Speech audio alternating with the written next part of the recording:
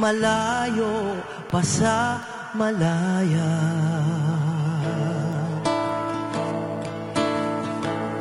Kay tagal pa natin magsasama-sama.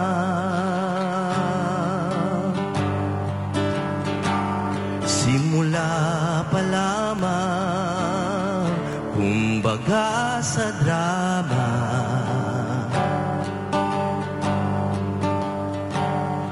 Ang kinabukasan gaganda ang kulay.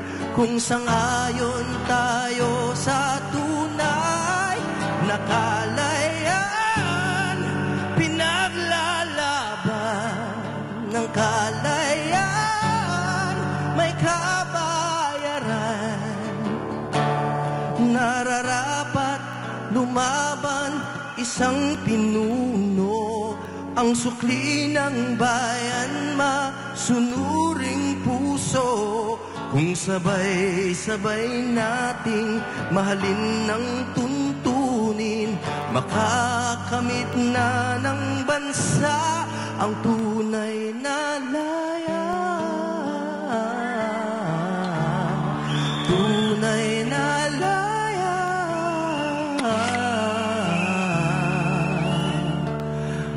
Malaya Malaya ka ba? Alam niyo kung bakit? Kasi nagpabudol kayo eh. Kailan pa ba natin makikilala Kung sinong kaaway Kung sinong kasangga.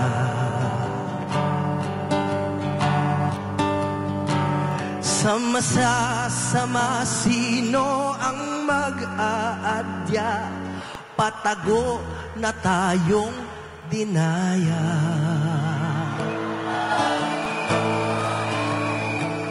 Ang kalaban natin ay butas na batas Pati mambabatas. Lambat na may takas Ang mga marahas.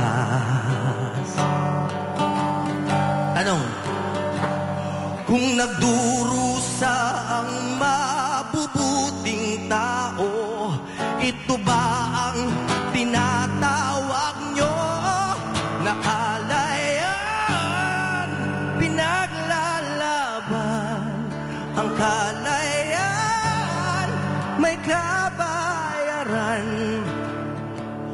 Nararapat lumaban isang pinuno. Ang sukli ng bayan masunuring puso. Kung sabay-sabay nating mahalin ng tuntunin Makakamit na ng bansa ang tunay na laya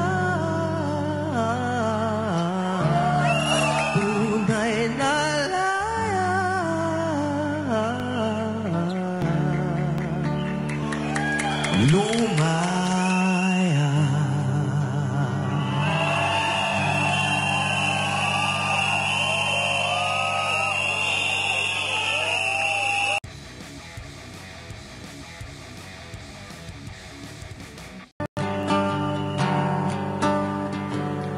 Kay tagal na natin hiwa-hiwalay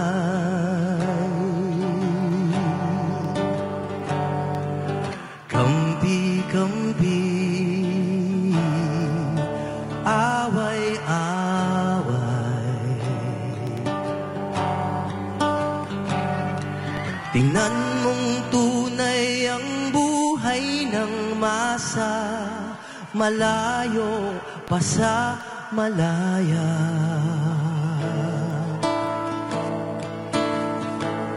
Kay tagal pa natin magsasama-sama.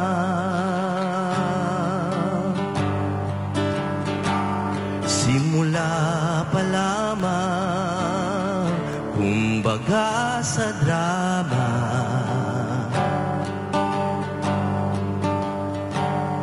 Ang kinabukasan gaganda ang kulay. Kung sangayon tayo sa tunay Nakalayaan Pinaglalaban ng kalayaan May kabayaran. Nararapat lumaban isang pinuno Ang sukli ng bayan masunuring puso. Kung sabay-sabay nating mahalin ng tuntunin Makakamit na ng bansa ang tunay na layaan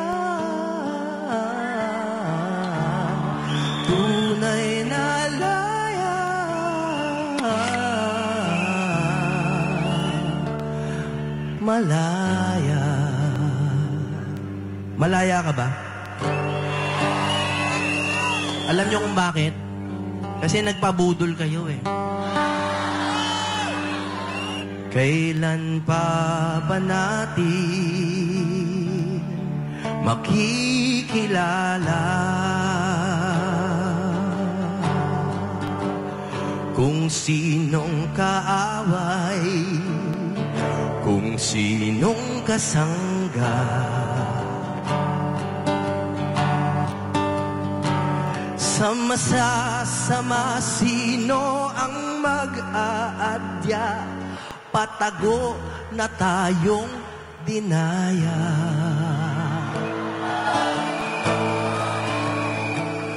Ang kalaban natin ay butas na bata sa Diyos at ang Pilipinas nating mahal.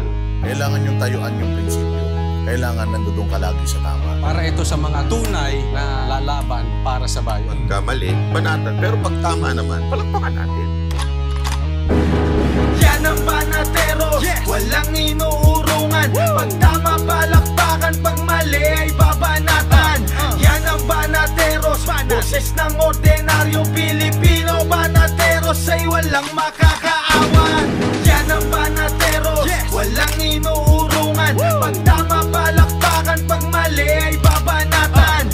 Yan ang banateros. Boses ng ordinaryo Pilipino Banateros ay walang makakaawan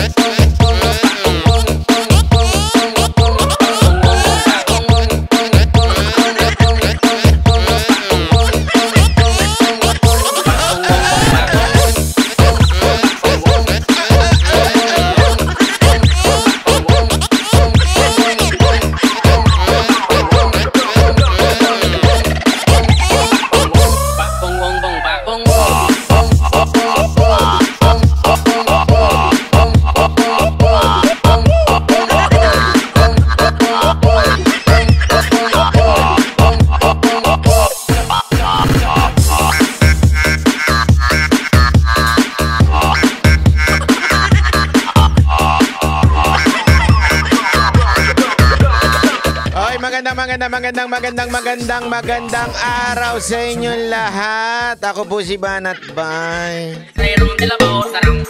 Binabati ko po ang bawat isa sa atin dito ng isang magandang, magandang jumaga. Good morning to every all. It's 2.30 in the morning here in the Philippines. Kamusta naman po ang buhay-buhay ninyo? O, shoutout po sa lahat ng mga kababayan na nanonood sa ibang bansa. Sana po ilagay nyo itong taga-asa ka. Taga-asa ka! Taga-asa ka, taga-Italy. Taga-asa ka, taga-Paris, France. Taga-asa ka, taga-Davao.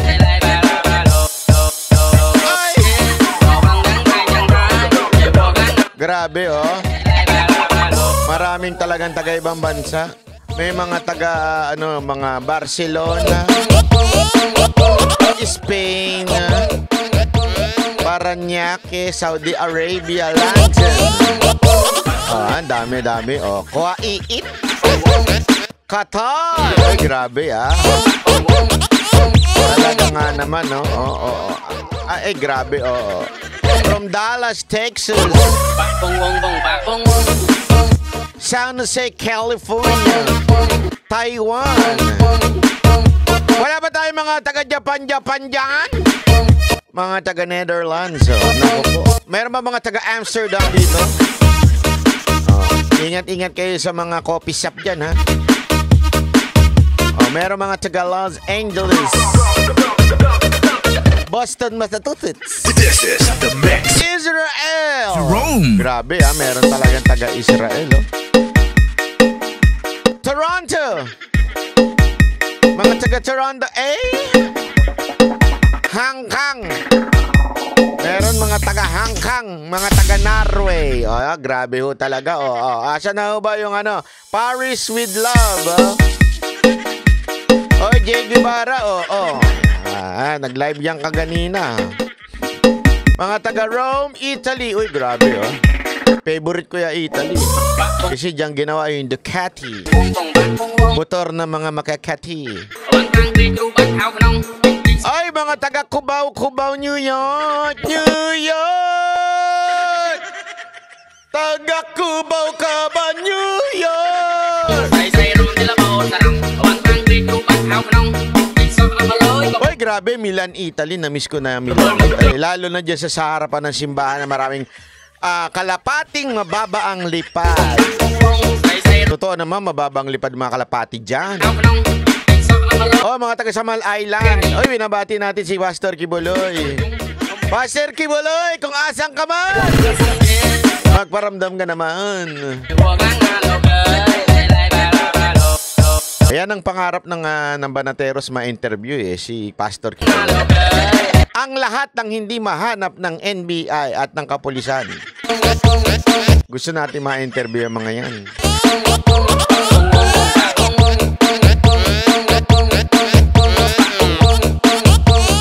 May bago ko ilalabas na produkto. Ha? Bibili ba kayo? Etong produktong to nakakagamot ng lahat ng sakit.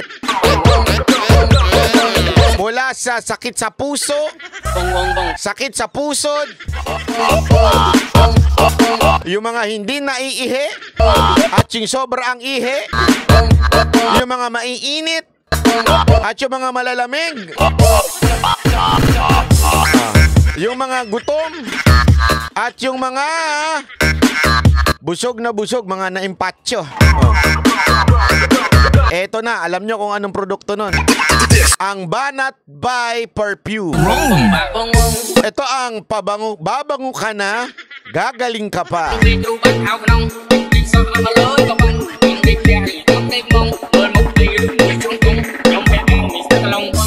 Abangan nyo yung produkto natin na ganito bong Banat by Perfume.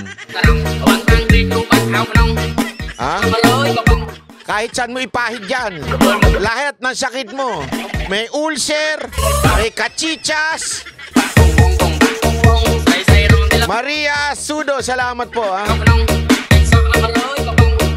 Di ba ganyan yung mga ano mga mga herbal herbal sa mga networking.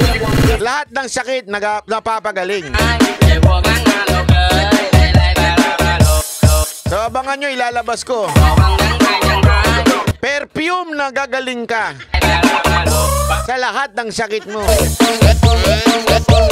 Kung wala kang jowa, pag ganito ka, ma- mapapalapit kayo dyan.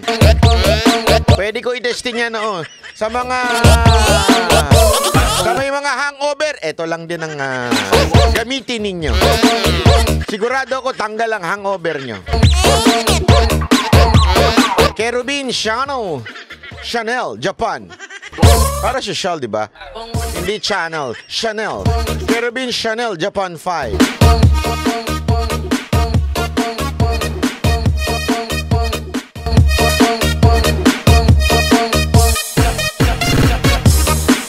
Sa mga matitigas ang leeg. Pwede rin yan, pwede rin yan. Ang mga matitigas ang ah, ayaw lumambot na mga pototoy. Pwede rin yan. Jerome. Oh, pwede rin yan sa mga bangag.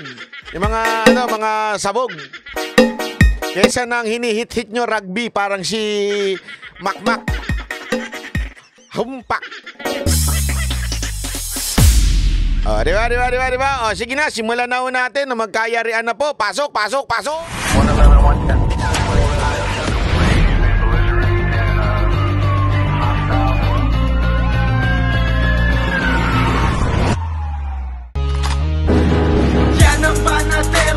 Walang inuurungan Pag tama Ah.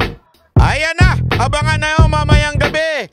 Ang Banateros! Naku, may surprise guest tayo. Sino nga ba ang surprise guest natin? Kung sasabihin ko sa inyo, hindi na surprise yun. Kaya nga surprise guest eh. Tsaka ah, secret guest, di ba? O eh, abangan nyo na lang mamaya. Manood po kayo mamaya. Ah. Huwag nyo naman po kaming iwan. Baka mamaya hanggang simula lang kayo. Huwag naman ganun hanggang simula lang. Tapos di na kayo manunood. Abangan nyo pa. Malay nyo, may ma-interview pa tayo mga hinaghahanap ng batas. Malay nyo lang. At abangan nyo rin yung makeup ko. O, yan ha. Uy, wag kayo naman. Huwag nyo namang sinisisi yung makeup artist ng SMNI. Kasalanan ko po yun. Huwag ko kayong ano dyan. Ako may kasalanan nun. Abangan nyo po. Malay nyo. Malay nyo lang naman. Malay nyo lang naman ma-interview natin si Pastor Kibuloy. Pastor Kibuloy! Sige na, one time lang. Yung mga abogado ni Pastor, payagan nyo naman si Pastor. Criselda Esmino, maraming salamat po ah. ah. Basta mamaya manood kayo ah, 8 to 9 p.m. Meron tayong special guest. Sasayaw ang Mocha Girls ng Bagong Pilipinas. Budol Pilipinas. Alam mo, gusto kong pasayawin sila ng Budol Pilipinas dun eh. Ano sa tingin ninyo? Maganda bang idea yon? Oh. Opening number. Mga kagers, Budol Pilipinas. Every, ano, every, ano, every commercial, sasayaw sila. Baka tawagan tayo ni Pastor Kibuloy nun. Sabihin natin, Panat Bay, ginagawa mo namang uh, noontime show itong ah, programa namin eh. Naku po. Abangan ang mapulang labi ni Banat Bay. Naku, abangan yan. Abangan, abangan, abangan. Oh, anyway, anyway, pag simu- simulan na natin ng banatan at ngayong araw na ito, matindi ang usapan patungkol ho dito kay Tulpo at kay BP Sara Duterte. Nako, nagiinit na. Nagiinit na ang politikang aga-aga pa oh, 2024 pa lang. Alam nyo ba kung bakit nagiinit na kagad? Ha? Ha? Alam nyo kung bakit nagiinit? Pansinin ninyo ha, ang aga pa lang, nagiinit na kagad ang ah, 2028 election. Meron na kagad pa survey. Alam nyo kung bakit? Ha? Alam nyo? Oh, hindi nyo alam kasi hindi ko pa sinasabi. Oh, ito, sasabihin na natin, ha? Alam nyo kung bakit? Kasi po, gusto na nilang mapalitan kagad ang administrasyon ngayon. Yan po ang totoo. Bakit? Nung panahon man ni Pangulong Duterte, may mga maagang survey? Wala. Sa katunayan, gusto ngang dagdagan eh, nung panahon ni Pangulong Duterte, gustong dagdagan ang termino ng Pangulo. Eh ngayon, 2024 pa lang, oh. Naku, nakakadalawang taong palaang. Nakakadalawang taon pala ang parang ah, board na board na ho ang mga Pilipino sa ating ah, administrasyon. Hatay tayo dyan. Oh, naku po. Ay, nako, ma- matindi ho, matindi ho talaga ang ah, nangyayari ho dito sa ating bayan at talaga nga namang ah, etong mga kababayan natin para ho talagang ah, marami ho sa kanila sigurado ako kumbinsido na ho na nabudol. talagang sabi nila, akala ko pa naman tuloy-tuloy si Duterte. Akala ko pa naman tuloy-tuloy yung ah, magandang ginawa ni Pangulong Duterte. Tapos bumoto kami. Ta- bigla kami nabudol. Di ba? Oh. Biglang ganun eh. Biglang, ano na, ano na? Anong petsa na? Hindi kasi, na ito ah, oh. Lalo na ho yung mga kababayan natin na mga banateros na mula simula talagang nanonood dito. Di ba? Alam nyo ho yan, mula simula pa lang nung nanonood kayo dito, anong, anong, ah, ano, anong siste. Di ba? Dito pa lang, sisimula pa lang ho tayo. Pinag-uusapan na natin yan. Ano sabi ng iba? Banat bay, wala pang 100 years, ay 100 days. 100 years talaga eh, no?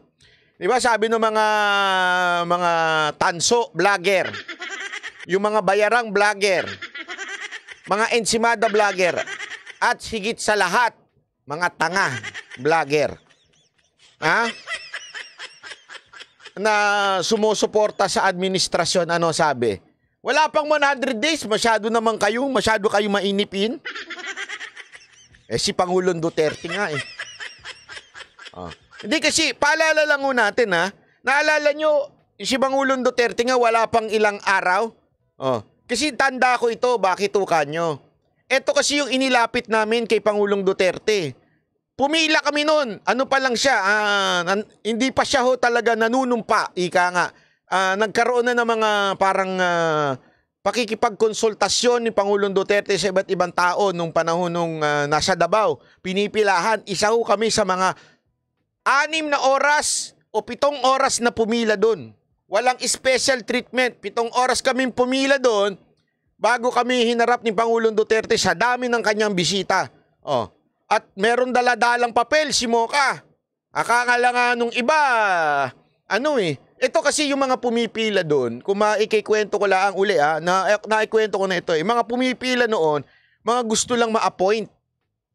Nagulat si Pangulong Duterte kasi nung pumila kami ni Moka noon at nung inabot yung papel, Mr. President, eto po, naniningil na kami. Eto yung ah, request ng taong bayan sa inyo. Nandun, ah, sampung request ng taong bayan, nagpa-survey si Moka. Tapos inulat namin sa papel yung sampu. At isa na nga doon yung 911 at saka yung emergency. Oh, tandaan niyo yun? Tapos after nun, di binasa ni Pangulong Duterte. Ito hindi yung basta tinanggap is ibinigay dun sa ano ah, sa assistant. Hindi, binasa niya talaga. Hindi sa isa niya. Tapos ito. Oh, yeah, sige. Alam mo, after nun, di ano na, ano na, upo na kami, relax na kami.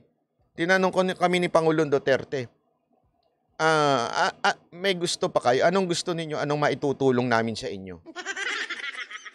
Sa madaling salita, all along, kasi yung mga nagpupunta doon, gusto magpa-appoint. Ang kami ho, wala naman kami plano magpa-appoint. Basta kami maibigay lang yung papel. Ah, o- wala po, sir. Gusto lang namin maibigay yung papel. Ah, ganun ba? Okay, okay. Sige. Kaya, kinabukasan, nag-announce kagad si Pangulong Duterte na kanya pong i, i gagawin itong 911 at 8888 hotline. Maniwala ko kayo sa akin, na, nagulat ho kami. Yun ang bilis kilos, ika nga. Di ba? Bilis kilos. Nakita ho natin kagad yun. Bakit ko kinikwento ho ito? Kasi kinikwento ko ito, naalala ko nung mga magwa 100 days na ni ni ni Marcos sa presidente, yung mga am- mga mga tatanga-tangang vlogger, yung mga tanso. Sabi nila, wala pang 100 days eh. Nung nag 100 days, ano sabi nila? Wala pang isang taon eh. Nag isang taon na. Ano sabi nila?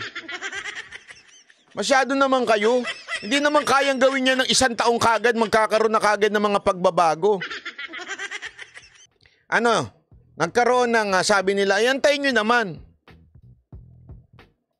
Baka ngayon, magto two years na. Actually, ano eh, ang ah, June, June, June. Two years na yan eh. So, pagdating mo ng June, pag wala pa rin yan, eh, baka mauna pa yung video. ah, video na naman, anak ng tutsang kalabaw yan ha. Hindi, a- a- ano sa tingin ninyo mauna? Ano sa tingin nyo mauna? Yung mga pangakong napako? Yung video? O number three, gera sa China. Lagay nyo ha, number one, number two, number three. Ilagay ninyo number one, yung mga pangakong napako tulad ng 20 pesos na bigas. Yung number two, yung video lalabas. O number three, mauna mo nang ah, magkagera tayo sa China. Ano mauna doon sa tatlo?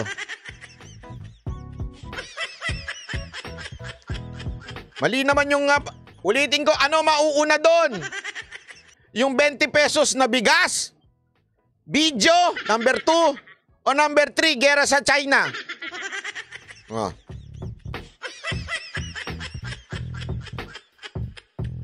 Kasi nga ho, bakit ko ito nakikwento? Kasi atat na atat na ho.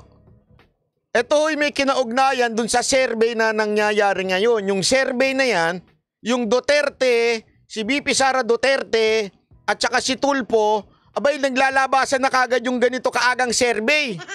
May ibig sabihin po niyan. Yung mga nakaupo, gusto ng pababain. Kaya mantakin mo ang aga-aga pa lang, isang taon pa lang pinag-uusapan na natin yung 2028. Saan kayo doon? Kayong mga patay gutom na vlogger ng ah, administrasyon na ito, hindi nyo ba napapansin? Mayroon na kagad na survey para palitan yung presidente nyo? Hindi ba kayo nahihiya?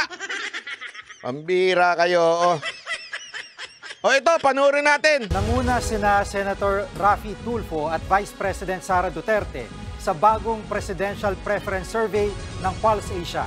Sa tanong na kung ngayon gaganapin ang 2028 national elections, 35% daw ang boboto kay Tulfo habang 34% kay Duterte. Sumunod naman sa listahan, sina dating Vice President Leni Robredo, Senator Amy Marcos at Manny Pacquiao. Nabanggit din sa survey sina dating Pangulong Rodrigo Duterte at dating Ito namang ano, itong nagpa-survey na to, itong Pulse Moreno. Asia, bakit nyo isasama si Duterte? Hindi ko magets eh. Hindi ah, eto ah, medyo nahalata ko yung Pulse Asia dito eh. Bakit nyo isasama si Duterte? Eh alam nyo namang hindi na siya pwe- pwede maging presidente uli. Alam nyo naman sasabihin ng mga tao, hindi ba hindi na pwede maging presidente yan? Alam naman ng tao, yung ba't isasama? Para siguro may pakita nila na bumababa na si Duterte. Di ba? Na, Pal, sa isa kayo ba meron kayong ah, kokote? Bakit to kailangan nyo isama si Duterte? Paliwanag nyo nga yan. Alam nyo na nga hindi na pwede si Duterte tumakbo eh, tas sasabihin nyo, ah, kasama yan sa ano. Ganon, pat ganon. O, ito po yung ah, lima. Si Rapi Tulpo, 35%. Sara Duterte, 34%. Lenny Robredo, tuloy natin. Yan. survey Ay, hindi man lang pinakita si Lenny Robredo. Parang ayaw kay Lenny. Oh, ayaw ni Le- Bakit ayaw? Ayaw kay Lenny Robredo. Vice President Leni Robredo, Senator Amy Marcos at Manny Pacquiao. Nabanggit din sa survey Oh, wala. Bakit ganun? Halata ah. Sa bagay, frontliner. Ah, Hindi pala frontliner, frontline. Pilipinas. Di ba TV5 yan? Di ba? TV5. O, ano ba ang TV5? Eh, eh, kasi magtataka bakit wala si Lenny Robredo. Hindi nilagay yung points. It's either walang bilang si Robredo o talagang nakapokus lang sila kay Rapi Tulpo. Sabagkat nandiyan si Tulpo sa Channel 5. Oh. Hindi natin alam ha. Oh. Ah, hindi. Ito ah. Sandali lang ha. Lilituhin lang natin yung mga kababayan natin kasi may mga ano eh, may mga mga mga ano, mga mga ah, mga ano, mga kulto ni Libayan na nasinasabing tulponatics ako. Litong-lito na sila eh. Minsan tulponatics ako, minsan Duterte ako. Ano ba talaga? 'Di ba? Hindi mo na maintindihan itong mga tatanga-tangang follower ni Libayan eh. Minsan tulponatics ako eh. Ngayon eh, biglang na Duterte na. Oh. Kaya nga, et, eto lang ha, eto lang ha, simpleng-simple lang ho ito. Bakit ho kaya ganyan ang ah, lumalabas sa survey ngayon? Number one, marami nagsasabi eh, mind conditioning. Ika nga. Yeah, marami nagsasabi niya na, na mind conditioning lang daw yan para palabasin na talagang malakas si Rapi Tulpo. Tapos si BP Sara Duterte eh bumababa. Kaya nga nandyan pa si ano eh, si si Pangulong Duterte para ipakita na bumababa. Pero at the same time, sa social media naman, pag papanurin mo talaga sa social media, talagang babasahin mo yung mga komento, ang daming naiinis kay Senator Rapi Tulpo. Dahil sa pagiging mainitin ng ulo, minsan wala na sa lugar, sa Senate, minsan na ah, lumalagpas na yung kanyang ah, birada o kanyang banat sa Senate, di ba? At makikita mo yan sa mga ano, sa mga comment. No, tutulpo, no, tutulpo, no, tutulpo. Makikita mo yan. Di ba? Pero, alam nyo, eto lang ang ano ko, ang aking ah, munting opinion tungkol dito kung bakit umaangat si Senator Rapi. Nanalo nga si Marcos eh.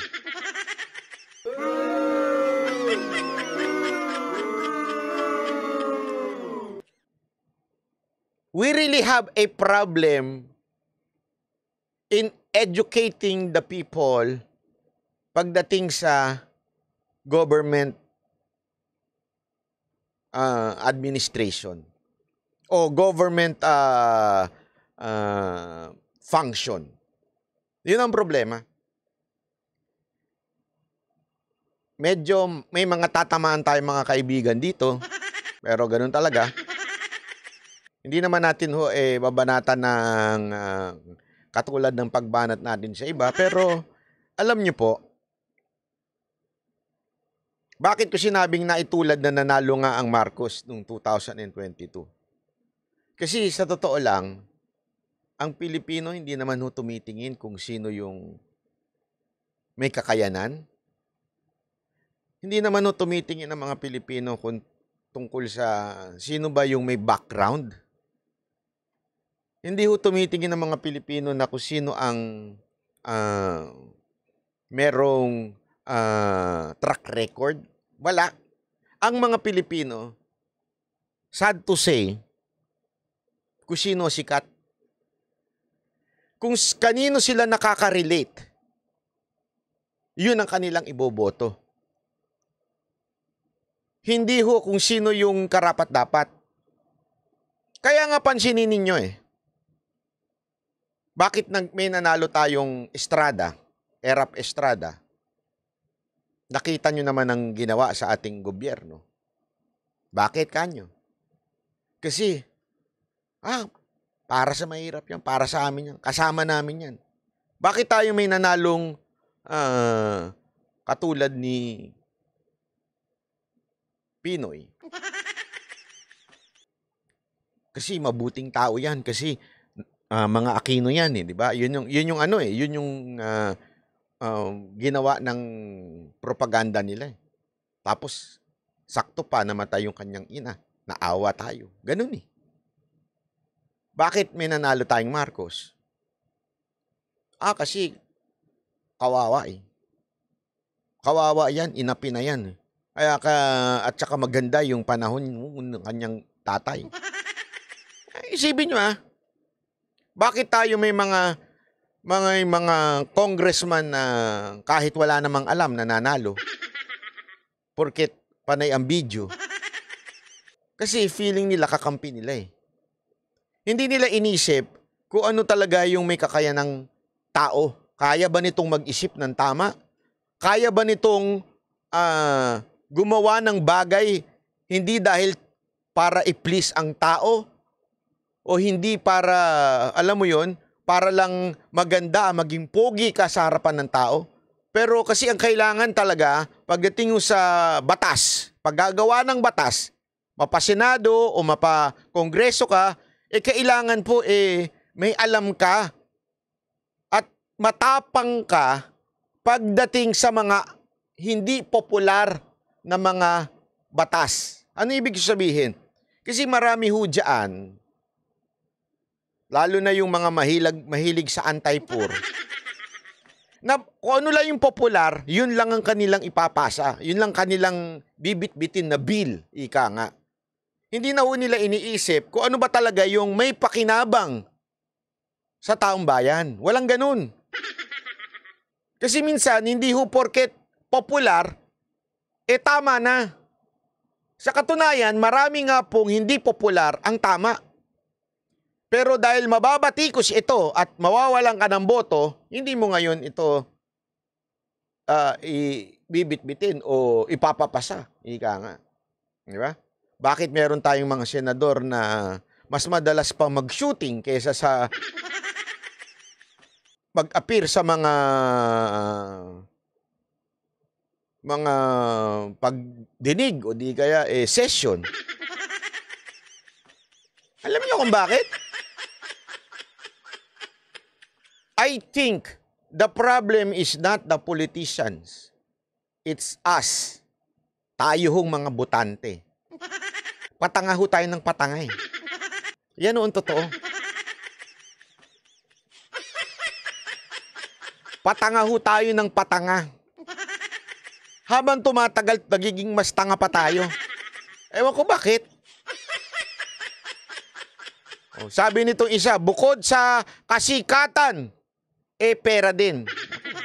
Siyempre, pag mahirap, kung sino yung magbigay ng limandaan, palakpak tenga na tayo. Kung sino yung ano talaga sa atin, nag-abot, yun na iboboto natin.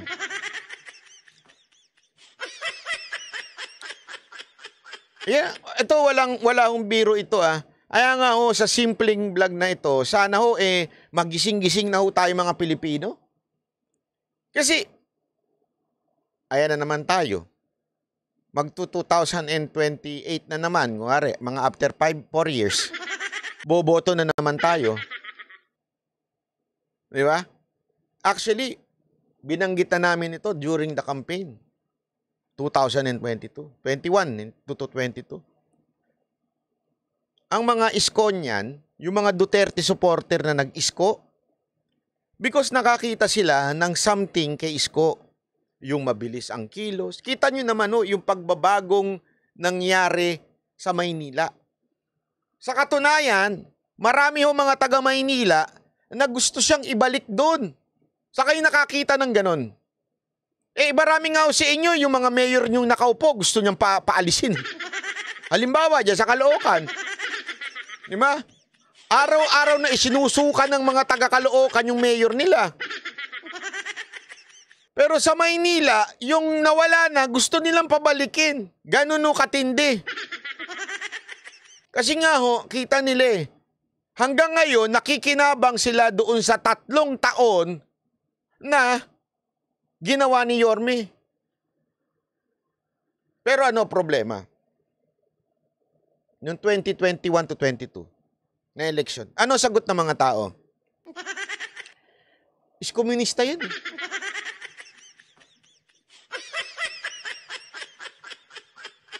Di ba? oh, Yan ang banat nila nun. Is komunista yan eh. Ano pa? Pagka sinabi natin, ah, sige, ano track record ng ka- kandidato mo? Ah, mm, ah, mm, ah, mm, ah. Kami, eto. Ilang eskwelahan, ilang pa, ilang pa, ah, ospital, ilan ang mga nagawa sa kanila. Eh, komunista yan. Di ba? Yan lang ang banat nila. O, binenta yung Divisoria, o. Yan ang paulit-ulit din ang banat nun. Hindi nila alam, dahil yung Divisoria, yung liability na sa Maynila, at yung perang ginamit doon, sa mga ospital, mga paaralan ngayon, alam nyo ba napakarami? Iniimbitahan nga ako ni Yorme pumunta dun sa isang, ah, kailan ba yun? Nakalimutan ko na. Makalimutan ko to ah. Meron niya ako, iniimbitahan niya po ako na ano eh, na pumunta sa isang ah, opening ng kanyang uh, eskwelahan. Tapos sa loob-loob ko, ito lang ang tanong ko eh. Ito talaga yung sinayang. Sabi ko, okay lang, ganun talaga buhay eh. Oh. Kaya, we deserve it. Oh, ang dami ho sa inyo ngayon, napakamot ulo. Ang sabat talaga, sisko na lang eh. Marami sa inyong gumanyan eh, di ba? Mula nung bumoto kayo kay Marcos, ano sabi nyo? Ah, nabudol kami, dapat si isko na lang. Tama mali. Maging si ano nga eh, nakita ko nga yun, tama ba ako si, ah, si Pebbles, ah, ano yun, talakera. Sabi niya, dapat si isko na lang. Kasi nga ho, may track record yung mama. Tama mali. Banat bay, mubong ka na, animal ka. Yan na naman yung sasabihin ng mga ano. Kasi yan lang man yung kaya nilang sabihin lagi eh. Is komunista, eh tanungin ko kayo, sino mas mukhang komunista ngayon? Sige. Sige. Si Isko, o yung gumagamit sa mga komunista doon sa kamera ngayon. Kakampi nyo na yung mga komunista eh. Tapos sasabihin nyo nun, is komunista, is komunista. Galit na galit kayo, eh, komunista yan si Yorme. Tama, mali. Pero ngayon, sino kakampi? Sinong bumabanat ngayon sa kalaban? Sino ginagamit nyo? Walang iba kundi mga komunista sa kamera.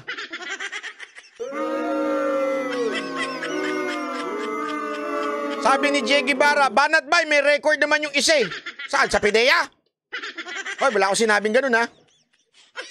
Nagtatanong lang, nagtatanong lang.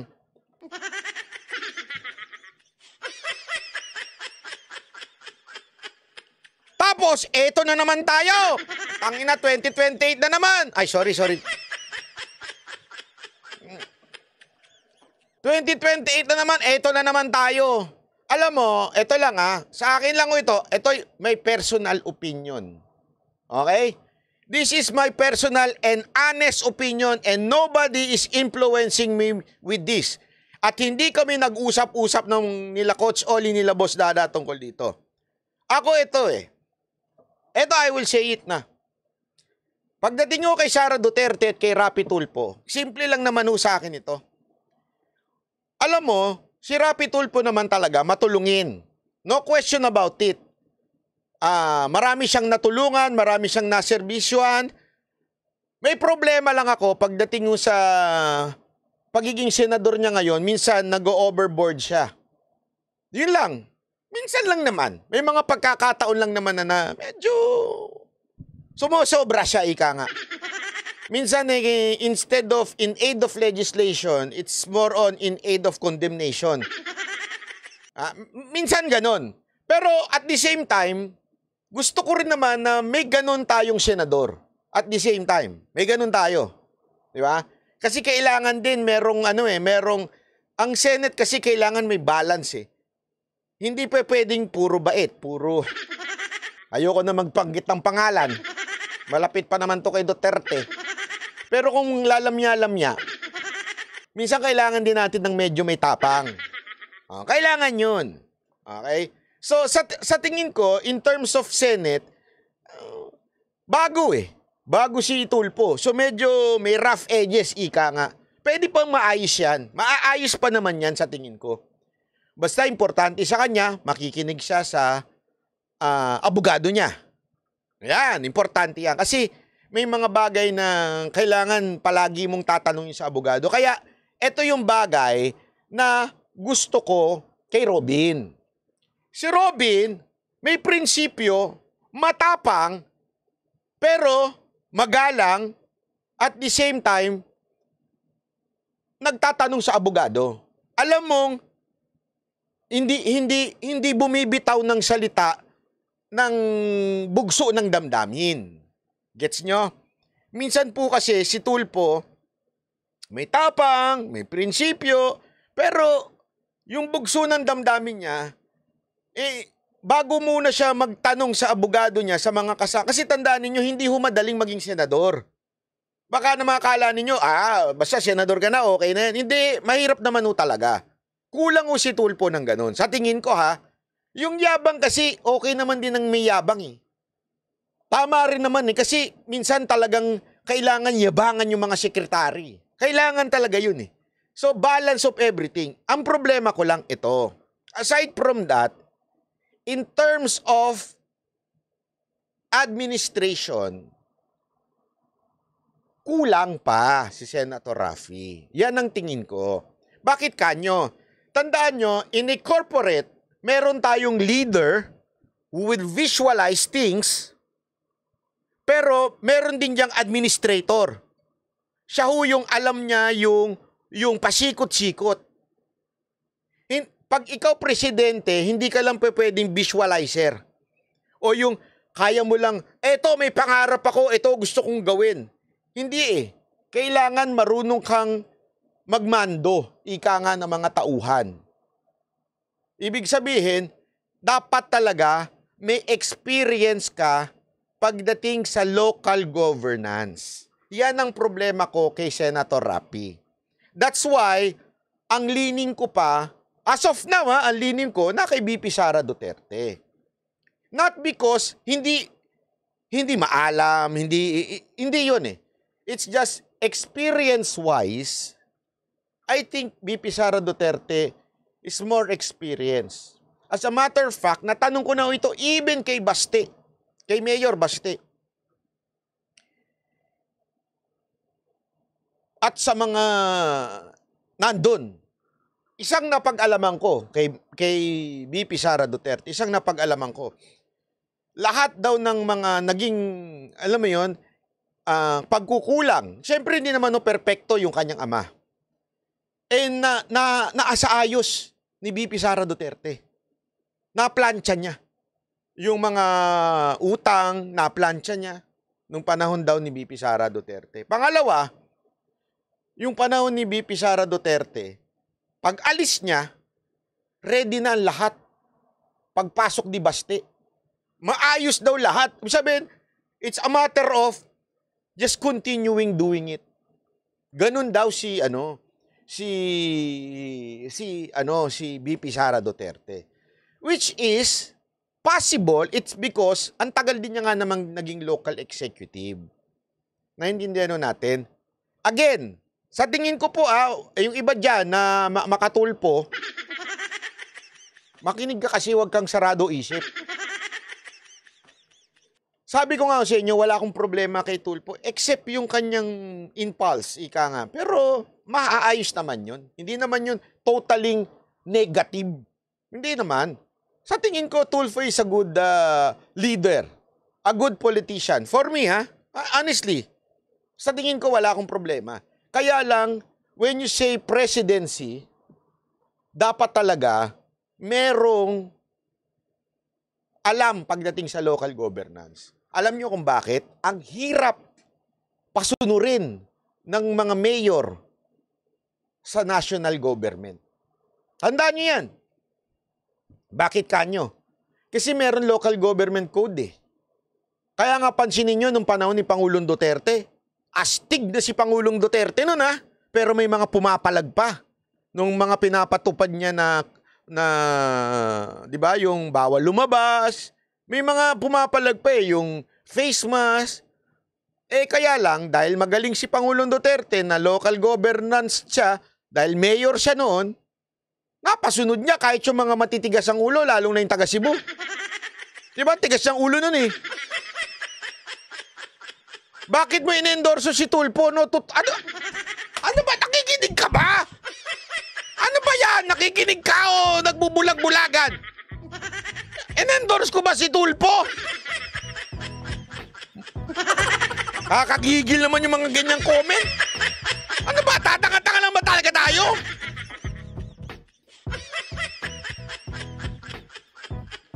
Sang parte dito na in-endorse ko si Tulpo?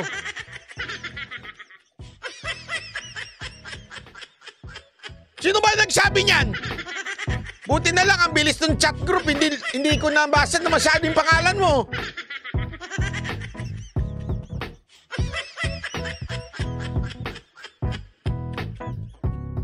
Tutok-tok ang kita dyan eh.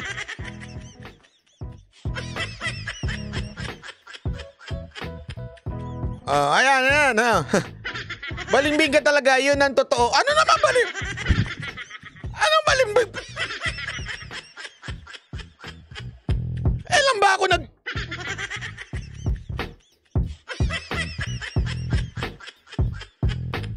Hindi ko talaga... Alam mo, yung mga katulad nyo, ang dahilan kung bakit ang Pilipinas bumabagsak. Ah, sabihin mo sa anak mo, anak, anak, anak, ako daw ang dahilan kung bakit bumabagsak ang Pilipinas dahil ang tanga-tanga ko. Sabihin mo yan ha. Pambira. Kalma, kalma. Hindi, hindi, hindi. Kalma po ako. Sa mga nakakakilala po sa akin, kalma ho talaga ako. Bingi lang. Ika nga. Bias ka talaga, Banat Bay! Pinaliwanag ko na nga bakit bias. Ulitin ko, ulitin ko. O rewind nyo na lang.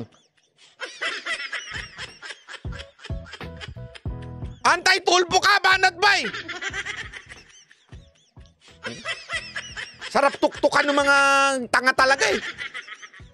Tulpo natings ka, Banat Bay! Ano ba talaga? Hindi ko na, nalilito na ako sa inyo. Kahit yung mga troll, nalilito na.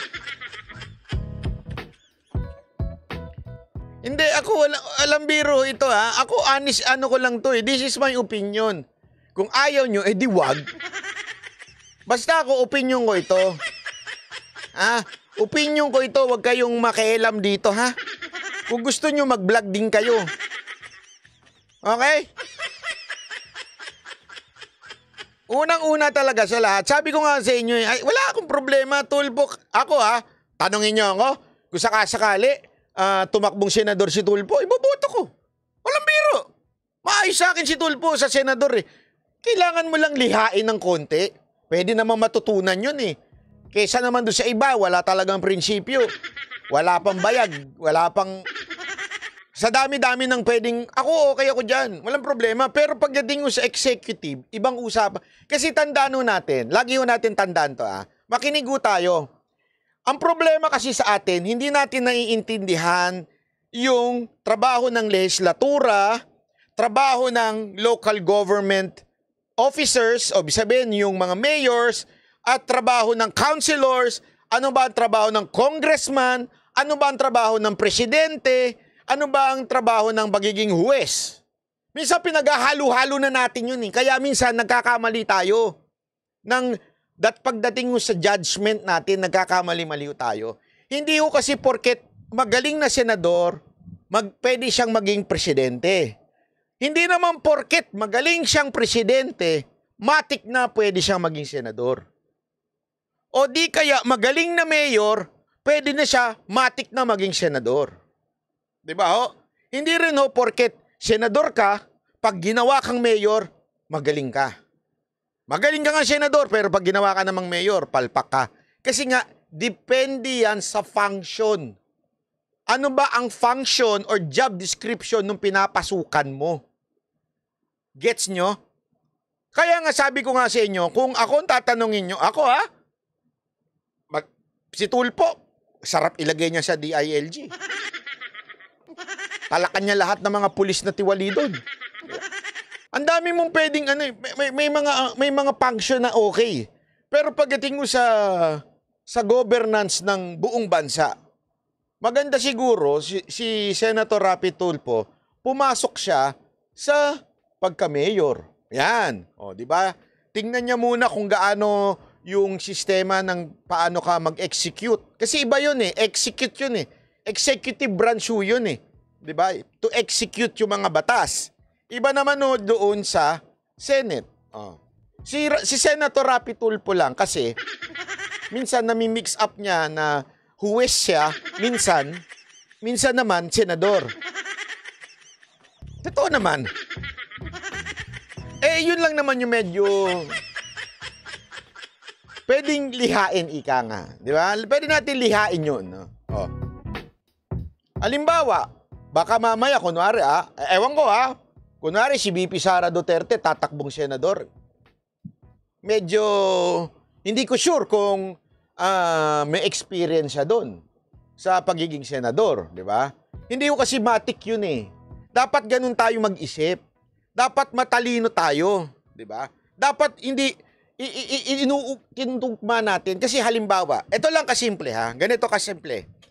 O ito, halimbawa,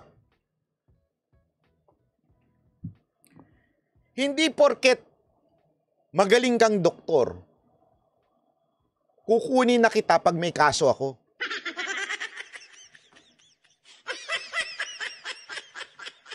Sino sa atin dito, pag may kaso kayo, wari dinimanda kayo, nang momolestya kayo ng ano. Tapos, ang kukunin mo ay isang magaling na PhD na doktor.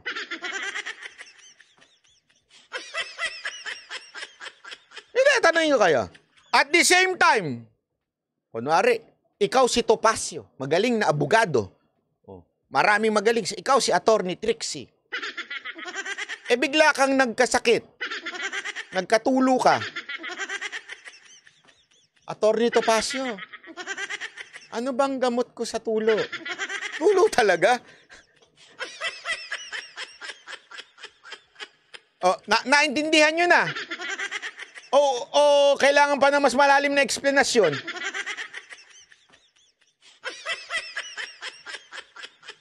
Dapat ang pagkuha natin sa isang kandidato ay naaayon sa function.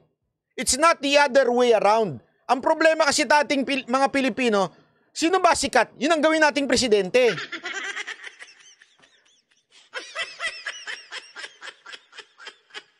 Na naintindihan na natin. Kasi ganun tayo mga Pilipino. Bahala. Sikat. Uy, banat bay. Gusto kitang vlogger. Tumakbo ka ng senador.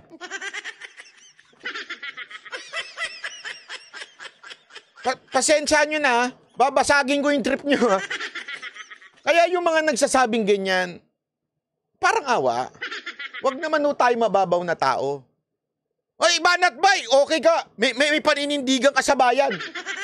Pwede ba ikaw na lang mayor namin?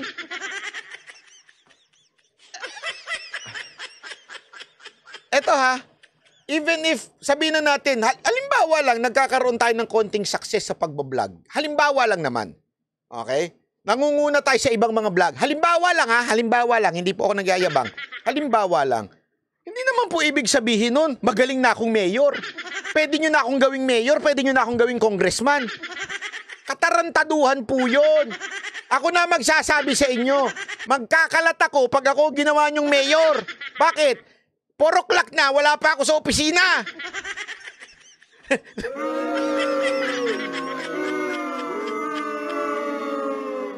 Mag-isip tayo ng mabuti. Yan ang problema kasi sa atin eh. Porket, ay magaling magsalita yan. Ah, gawin nating senador. O yan, porket pogi ako, pwede maging artista, sabi ni Gasky.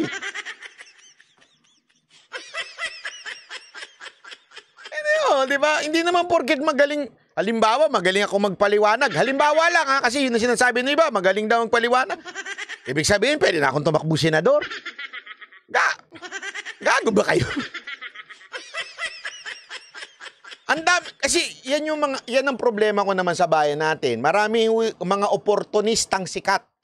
Porket alam nilang popular sila, papasukin nila yung bagay na hindi naman nila alam kung ano yung pinapasok nila. Di ba? Porket sikat lang sila. Ah, sikat kami. Sige na, takbo na ako senador. Takbo na ako ganito.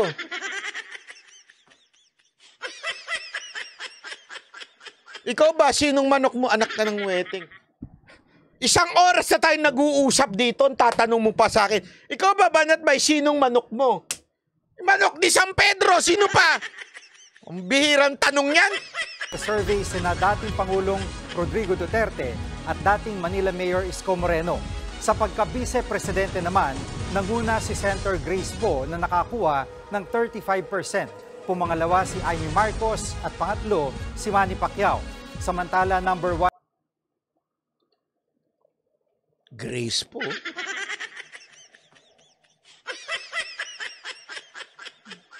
Pwede bang American citizen bilang vice president? Nagtatanong lang ha.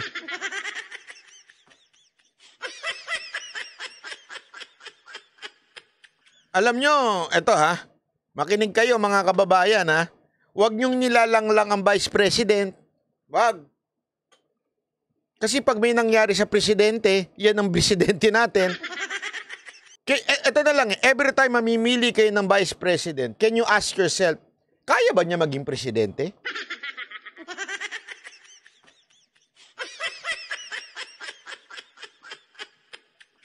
Yun ang tanungin natin. So, wag tayong ano, kaya nga alam mo, kaya talaga hanga ko kay Senator Robin eh. Tinanong ko sa kanya yan eh. Tinanong ko sa kanya, Senator Robin, Tol.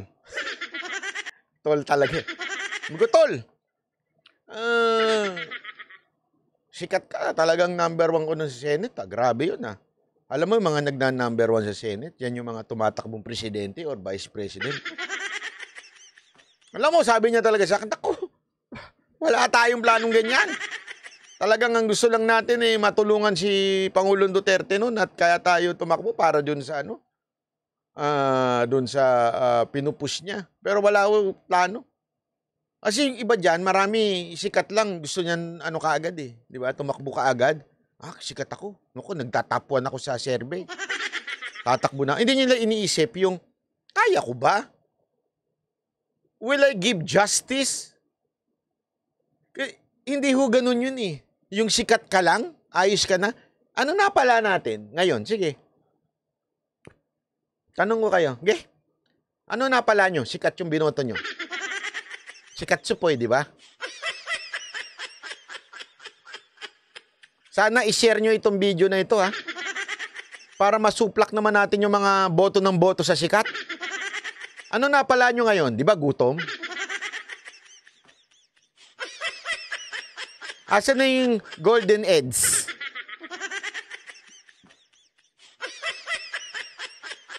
Wala na, di ba?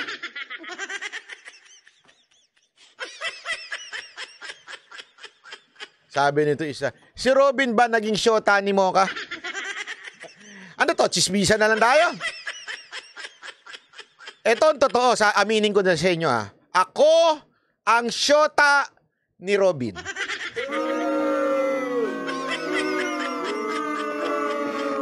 Kala nyo ha? Kala nyo makakapulot kayo ng chismis ha? sa senatorial preference survey si ACT-CIS Party List Representative Erwin Tulfo. Pasok din sa top 12 senatorial bets sina Tito Soto, Rodrigo Duterte, Bongo at Abi Binay. Nako po, Abi Binay! Are you even... Seryoso ba kayo si Abi Binay? Ang... Ay nako.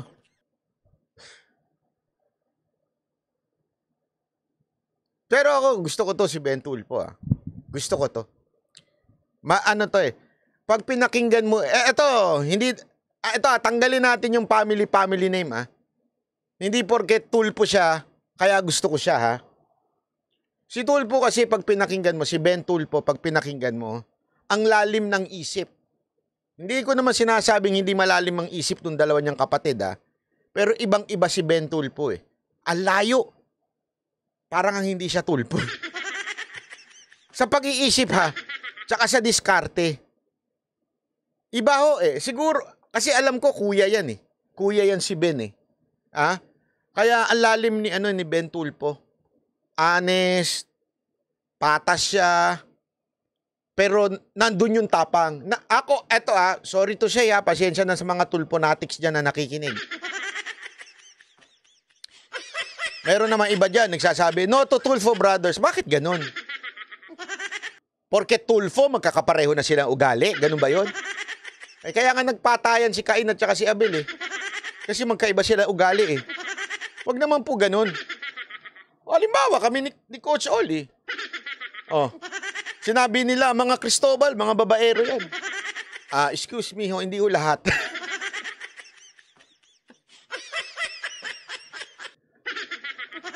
Merong lalakero. Wag yung, wag yung ano kagad, matik na kagad porket yung kapatid, di ganun. Kailangan yung kapatid na isa, ganun din. Hindi ganun yun. Ako'y isang ah, ah, buhay na patotoo. na magkaiba kami ng kapatid ko pagdating mo sa... Oh, change topic, change topic. Baka mapahamak. Hindi, eh, yun nga. Alam mo, ito, ah, ito, ah. I, ah, doon sa mga tulpo natics dyan, makinig kayo, ha? Sa akin, ha, hindi ko naman sina, ano, ang nakikita ko kay Ben Tulfo, nakita, ki- na- ito, akin lang naman to. Eh, you may disagree, walang problema. Buhay niyo yan, eh. Mag-vlog kayo sarili niyo. ha? si Ben Tulfo, ito yung refine Tulfo. Yun ang, yun ang definition ko sa kanya. Ano eh, um, mas malawak mag-isip, mas, mas finesse, pero hindi nawala yung prinsipyo, hindi nawala yung tapang. Gets nyo? Nandun. Pero, mas ano siya, mas, mas, mas ano siya, eh, mas sa tingin ko lang ho ah, eh, yun lang naman po ang aking ah, opinion. Sa napapansin ko kasi ako personal, nanonood ako pati ho yung diskarte niya, yung pag tumutulong siya, nakikita ko eh. Pati yung mga komento niya, nakikita ko. Pwede siyang pang senador. Para sa akin po ah, si Amy, may nagtanong dito, Amy? Amy?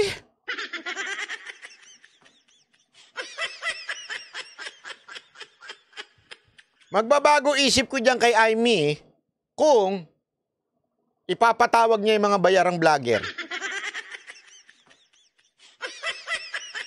Yung umamin na bayarang vlogger na si Bakagago, pag ipinatawag niya sa Senado yun at paaminin, sino nagbayad sa'yo?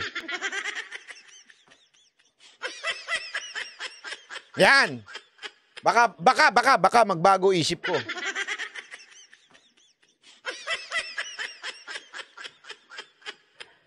Eh, bakit si Isko Moreno? Sabi mo kanina, may mga mayor na hindi naman dapat maging senador. Naku, diyan kayo nagkakamali. Bakit kanyo? Kasi tandaan niyo si Isko Moreno, bago naging mayor, tatlong taon lang siya naging mayor. Pero the rest of his life, vice mayor siya o di kaya councilor.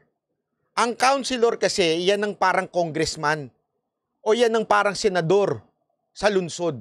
Yan ang trabaho nila. Kay, alam niyo yung mga mga ordinance.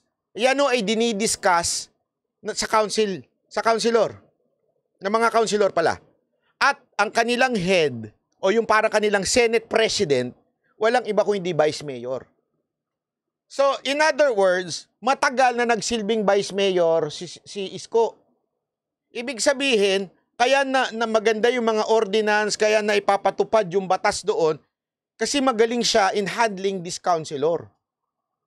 Councilors ng May- Maynila.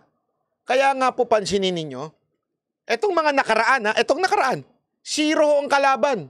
Lahat nasa partido ni, ni Yorme. Naandun ho lahat. Bakit? Magaling mag-handle si Yorme. May leadership si Yorme. Pagdating ho sa pagpapatupad ng pa- paggawa o pagbalangkas ng ordinances sa kanilang lunsod. Yun ho ang quote-unquote mini, mini eh. Gumagawa ng batas doon sa lungsod.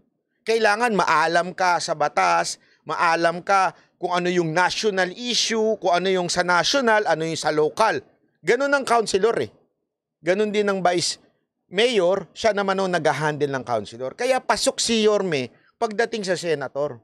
Actually ako, solve ako dyan. Number one sa akin yan. Aside from siyempre si Senator Bongo, eh, no question about it. Ang mga Cayetano, oh, sigurado yan. Si Pacquiao, pwede pa eh. Ah, honestly ah, ako pwede pa eh.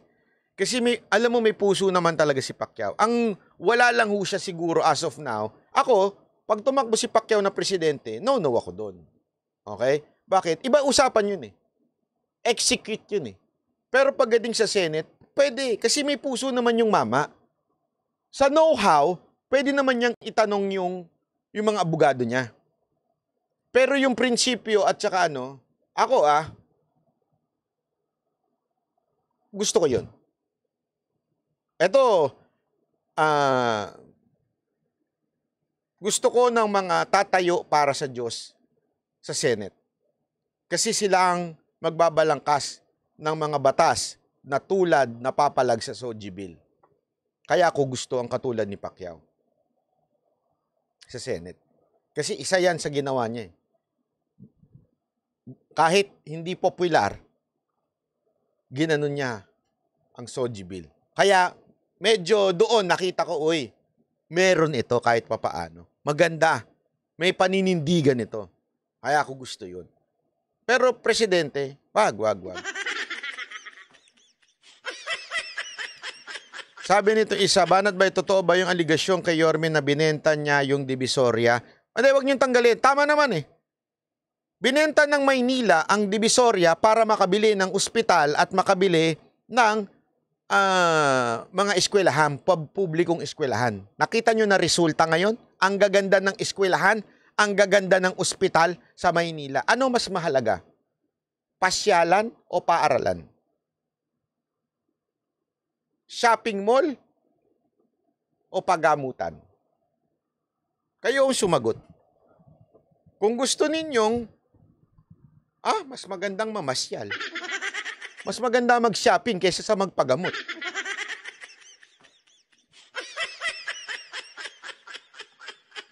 Oh, di ba? Si Manny Pacquiao, eh, pwede siya sa executive position. Ah? Ewan ko lang. Isinagawa ang mga survey nitong March 6 hanggang March 10. Mga kapatid, Si Jig Abby Bina, yan o, mayor. Ano, ano alam niyan?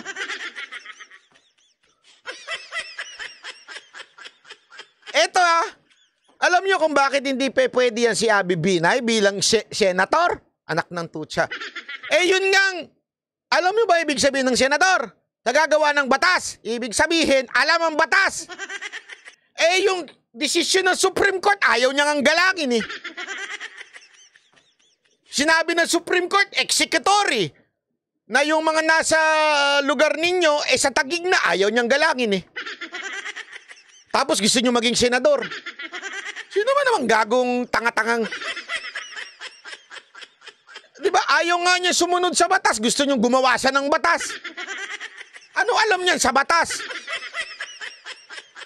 Tama, mali.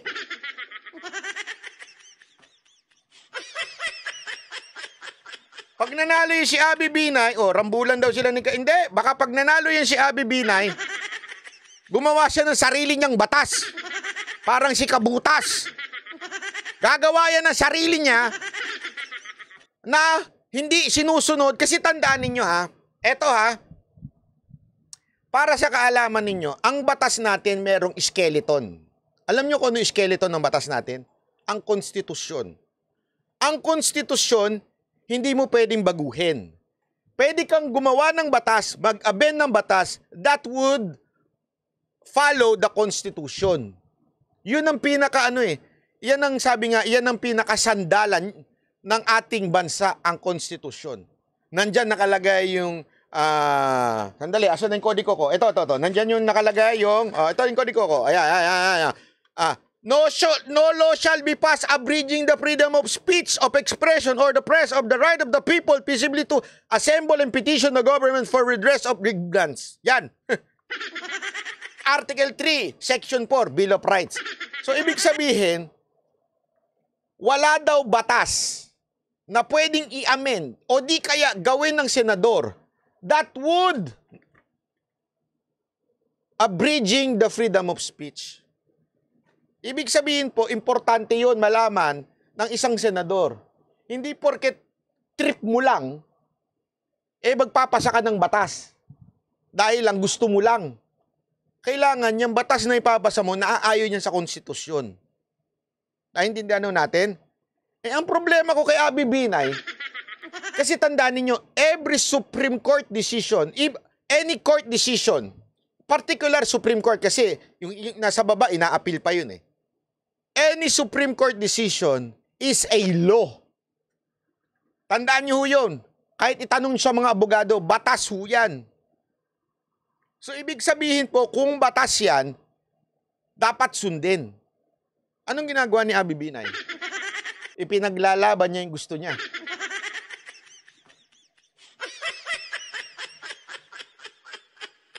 Tama, mali. Gets nyo? Oh, sabi nitong isa, si Sara di pa hinog. Kung hindi pa hinog si Sara, wala nang hinog. Sino pang mas hihinog kay Sara Duterte? Sige nga, tanungin ko nga kayo. Sino pang mas hihinog kay Sara Duterte? Si Sara Duterte naging ang tagal na local executive niyan. Dinaanan din niya ng vice mayor. O ibig sabihin, nag-handle din yan ng ah, ah, legal. At the same time, abogado yan. Ah, at the same time, she handles every accusation and bashing well. Very, very well. Kung hindi si sinog si Sara Duterte, sino hinog?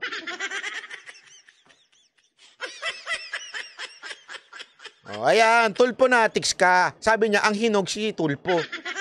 Ay, patay tayo dyan.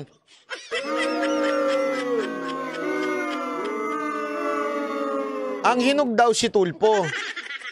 Hindi naman sa sinasabi kong hilaw si tulpo, ha? Ang sinasabi ko, si tulpo ba naging local executive?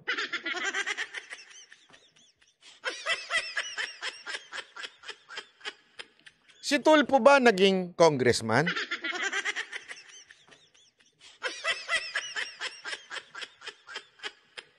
Si Tulpo ba naging secretary?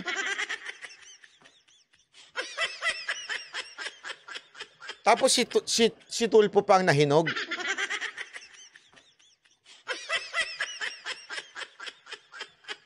Anong experience niya? Banat bay! Tulponatics ka! Ah.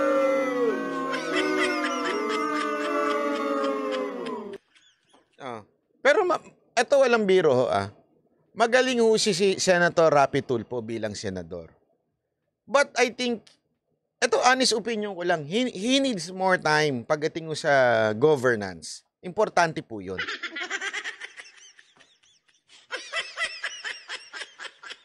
Hinog sa YouTube. Ah, tama naman. De, actually, wala akong problema. Ako, honestly, wala akong problema. Ang daming natulungan yan.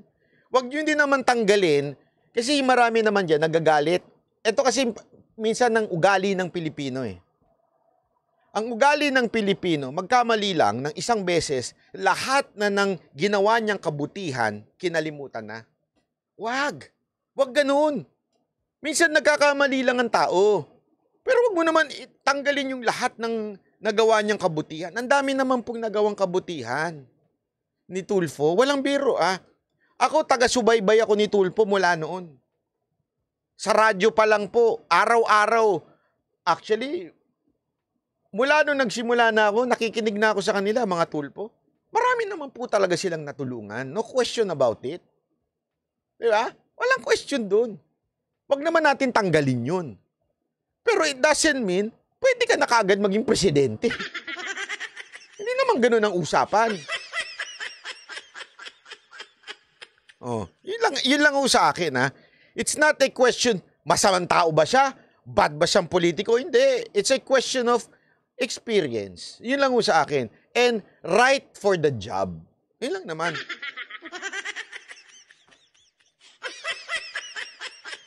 Sabi nitong isa, takot ka lang sa tulpo kaya hindi mo binabanatan. Ba't naman ako matatakot?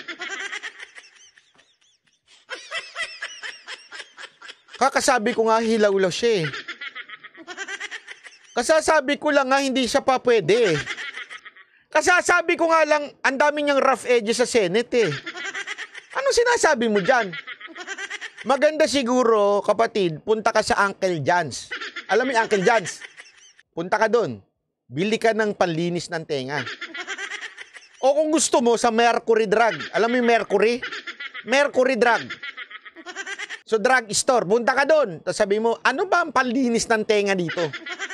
Kasi nabibingi na ako eh. Tatanga-tanga na ako eh. O kaya mas maganda, mag, ano ka na bumili ka na rin ng pampatalino. Bumili ka ng Banat by Perfume. Baka maaaring ma, ma- tumalino ka dito. Para sa mga tanga to eh. Di ba? O sabi ni Diego, Diego Latigo, pasapak ka na lang kay Pacquiao. Baka maalog yung utak, utak mo at magka ano, medyo mabuksan yung tenga mo.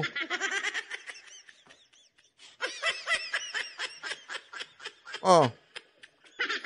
Tuloy, tuloy. Ano pa next? Ay nako, eto, nako, ito na naman ang issue na ito. One, there's no such thing as my side. Kaya nga, ah, tinawagan ko siya, twice kami nag-usap Holy Week. At sinabi niya, I have not entered into any gentleman's agreement Nako, whatsoever. patay tayo dyan.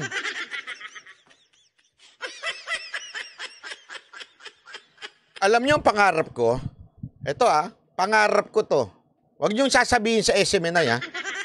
Baka sabihin niyo bukas, i-comment niyo dun eh. Huwag niyo i-comment. Promise niyo ah, huwag niyo i-comment sa SMNI ah. Pero ang pangarap ko, mag-guest namin si Attorney Panelo at saka si Attorney Roque. Tapos pag ah, kami yung ano, yung gitna. Tapos magdedebate sila. Yun ang pangarap ko.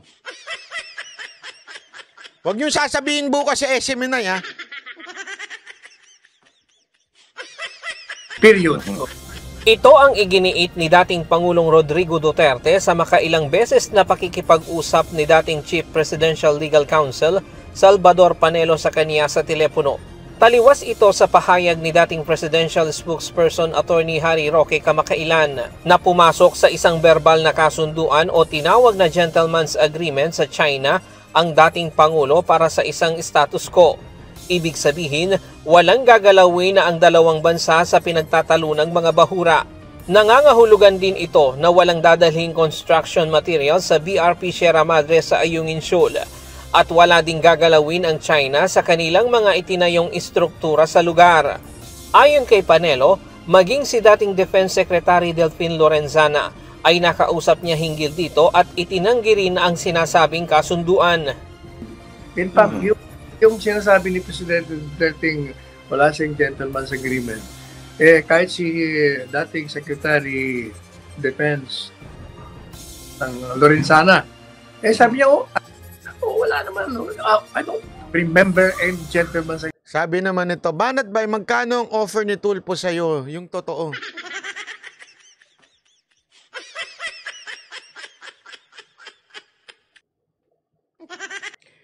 Eto yung mga taong ewan ko kung saan naiwan yung, yung utak.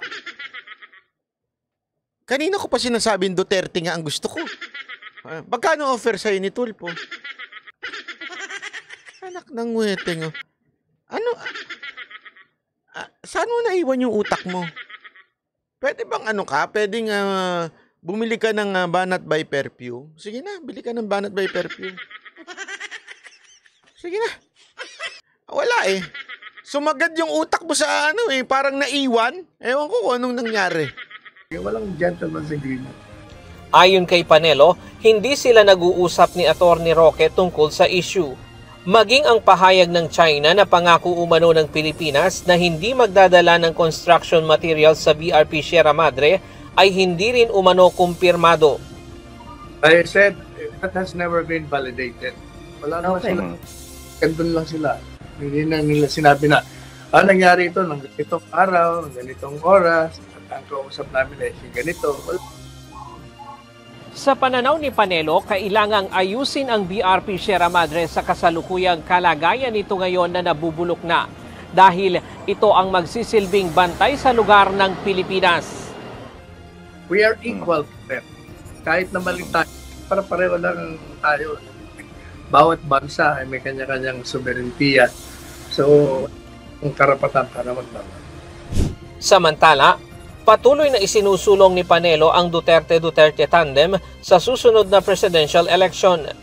Pero sa ngayong malayo pa ang 2028, pagbalik bilang alkalde ng Davao City muna ang payo niya sa dating Pangulo. Anya kundi naman tumakbo ang dating Pangulo sa national position bilang katambal ni BP Sara, si Senator Robin Padilla ang itutulak niya na maging vice presidente nito. Is there a possibility that the former president will not run as vice president of the Si Robin, pag yan ang pinat vice presidente, game over din yan. Ryan Lacanlale, UNTV News and Rescue. Diyos ang aming sandigan, serbisyo publiko ang aming Al- alam mo kung bakit na ano, naintindihan ko to si Panelo kung bakit si Robin ang gusto niya eh, na maging vice president just in case po. Kasi nga ho, alam nyo, if you would uh, talk with Robin Padilla, yung talagang masinsinan, tahimik po kasi yung mama, yung hindi ho siya yung katulad ng iba na mapapel. Pero yung mga, eto ah, yung gusto nyo balikan nyo yung mga live niya nung panahon ni Pangulong Duterte, ang lalim nung mama. Sobrang lalim. And I, I, I really thought, ah, ah, baka naman ano lang to. Ano lang, sa sa video lang. Ika nga, ganun lang. Sa video lang ba magpa, ah, nagiging malalim? Alam mo, pag nakausap mo siyang personal, ang dami ko na nakausap ng mga politiko sa personal, mga government official, mas malalim pa ho siya. eh. Mas matalino pa ho siya. Eh, siyempre, nagkaroon lang kasi siya ng background na hindi maganda. Di ba ho? Pero wag ho natin kakalimutan. Marami ho sa Old Testament ang hindi maganda ang background, kahit nga ho sa New Testament, pero nung sila ho'y nagbago, ay, maayos ho. Di ba ho? Ah, ito, alim, ito, wala akong biro ito ah. Ulitin ko ah, bakit ko ito kino-quote? Ah, kasi ho, naniniwala ko, the greatest teacher of all in the history ay walang iba kundi ang Old Testament and the New Testament, ang Biblia. Bakit to? Ito halimbawa, si Moises. Alam niyo ho ba na gaano ho si Moises kainitin ng ulo? Si Moises, nakakita lang ng ano, mainitin ng ulo niya, pinatay niya. Nag-road rage, ika nga. Kaya lang hindi road rage. Wala pa kasing kotse nun. May nakita lang siyang ano, mainitin, pinatay niya. Sobrang mainitin ng ulo. Lagi hong ano yun, nag, ah, mainit ang ulo. Kahit pa ho nung panahon na siya ho ay i- inilabas niya na sa is- ang, ang Israel sa Egypt, may mga times siya na nabuibuisit ho siya. Ganon siya kainitin ng ulo. Pero nakitaan siya ng leadership ng Diyos at nabago siya ng Diyos. At maayos ho. Kahit to si, sino pa ho? Kahit to si Pedro. Si Pedro, kilala niyo si Pedro, yung kapatid ni Petra. Hindi, si Pedro. Ah, taga dyan. Si Pedro, isa rin mo yan. Yan naman si Pedro ang, ah, ano, ah, Jollibee. Jollibee yan sa mga disipulo, si Pedro. Bida-bida. hindi, eto ah. Hindi nyo ba mapansin? Bakit ganoon ang ah, ginagawa ng Diyos? Kung sino pa yung medyo may may rough edges, yung medyo pangit ang ang ah, past, saan tina, sila yung tinatawag? Kasi nga ho, merong ano eh, meron ho tayong masasabing ah, doon talagang gumalaw ang ano, ang Diyos, ika nga. May merong galaw ang Diyos sa kanilang buhay. Alam mo 'yon? Eto si Robin, ah, hindi naman siya na nga ano, nasubaybayan ko rin ko pa kahit papaano ang buhay nito mula nung siya nakipagsuntukan siya kay Richard Gutierrez, ah, Gomez sa basketball, naalala yon. Hindi niya alam. Nung nagkaroon siya ng iba't ibang babae, lahat ng kanyang ah, leading lady, pinatos niya. Yeah. Yung pagiging ah, ano niya, ah, basag ulo, nandun yun eh. Pero nakita mo naman na binago ho siya. Binago ho. Eh, kaya nga, nung ngayon, makikita mo pag kinausap mo, nung naka, ilang beses ko nung nakausap kasi yan, ng masin, nung, ano, yung, alam mo yun, na talagang, uy, itong maman to, meron to. Malalim tong maman to. Tsaka may prinsipyo itong maman to. Di ba? Nung nakulong, oo. Actually, malamang, marami ho siyang natutunan nung nakulong siya. Alam mo maraming ganyan eh, yung mga nakukulong tapos maraming natututunan. Marami rin naman nga nagiging gago lalo. Pero maraming na ano. O yan, si Isko, correct, tama. Di ba? Si Isko, eh, isa pa ho yan, di ba? Na dati ring, hindi naman maganda ang buhay niya dati. Basag ulo din siguro yan. Tsaka si Ba, sinasabi nga noon na kesyo ah, kung ano nung ginagawa niyan dati. Pero nakita nyo naman yung pagbabagong, kasi kung nagpatuloy yung kagaguhan niya, ay, hindi niya magagawa yung mga ginagawa niya no, sa, sa Maynila. Makikita mo. O, sabi nito isa, Sarah Robin, exciting na tambalan. Naku, gusto ko yan. Gusto ko yan. Gusto ko yan. Sarah Robin, maganda yan. Pwede yan, pwede yan. Ah, tama ba? Sarah Robin. Oo. Hindi ba, not. Magkano ba binayad siya ni Tulpo?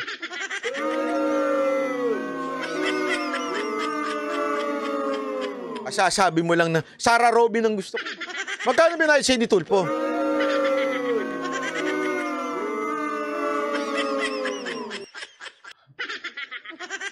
Wala talaga. Wala talaga, wala, wala. Sara Bongo, pwede rin yan. Yan, pwede rin yan.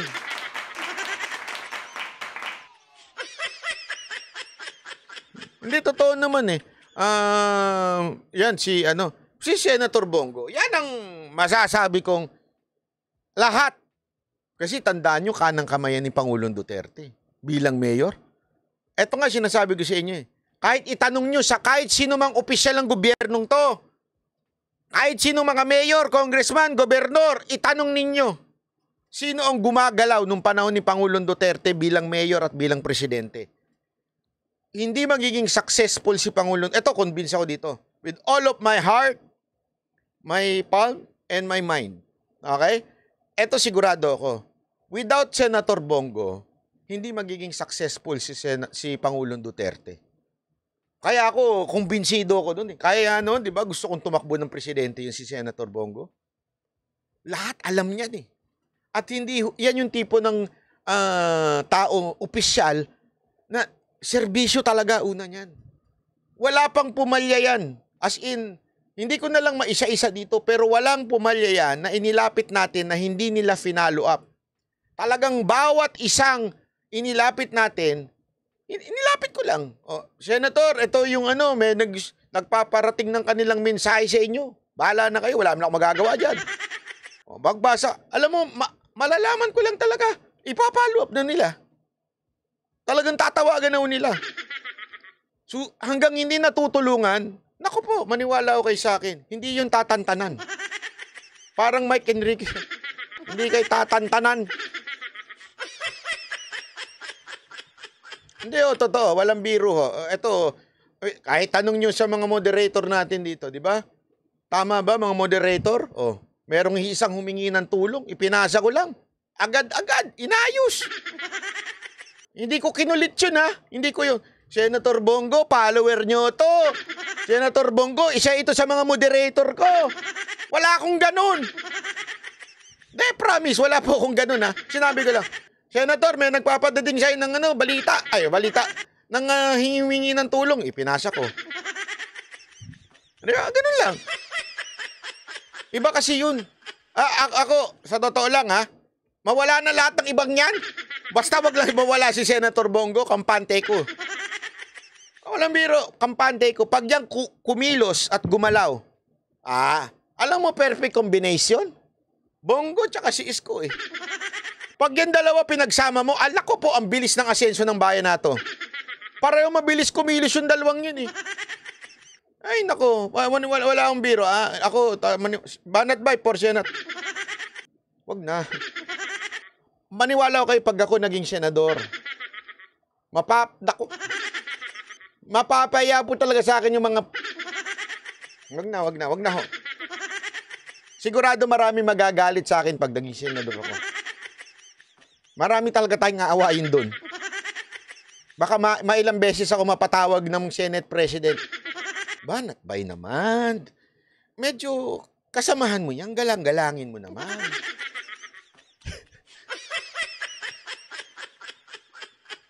Di ba? Oh. Anyway, ito, ito, ito. Oh. Oh, pakinggan natin. Pakinggan natin itong, ah, eh, since nandito na tayo, pakinggan natin itong Senado. Sinimula nang imbestigahan ng Senado ang pagtatayo ng resort sa mga protected area katulad ng Chocolate Hill sa Bohol. Pero git ng DNR, inaaksyon na nila ang issue. Nasa frontline ng balitang yan si Camille Samonte. Matagal na pong naging pabaya kayo dyan sa DNR. Yan ang giit ni Ako Senator po, Rafi patay! Tulfo sa pagdinig ng Senate Magagalit na naman yung mga ano, mga kabutas dito. Banat bay, bakit mo naman piniplay yan si Tulpo? Hindi kasi dalawa lang naman ho yan eh. Tatotoo lang, dalawa lang naman ang ano eh. It's either allergic ka kay Tulpo o isa kang pro Tulpo. Yung talagang die-hard panatiko ni Tulpo o di kaya ikaw ay allergic kay Tulpo. Okay? Ganyan lang naman yan eh. Dalawang klase lang ng tao. Allergic o di kaya panatiko. Ako ho, hindi ko tulad ng sinasabi ko, basahin ang nasa baba. Ano? Ay, may iba pala yung nasa baba. May tuta. Basahin niyo nasa baba. Pag tama, palakpakan. Pag mali, banatan.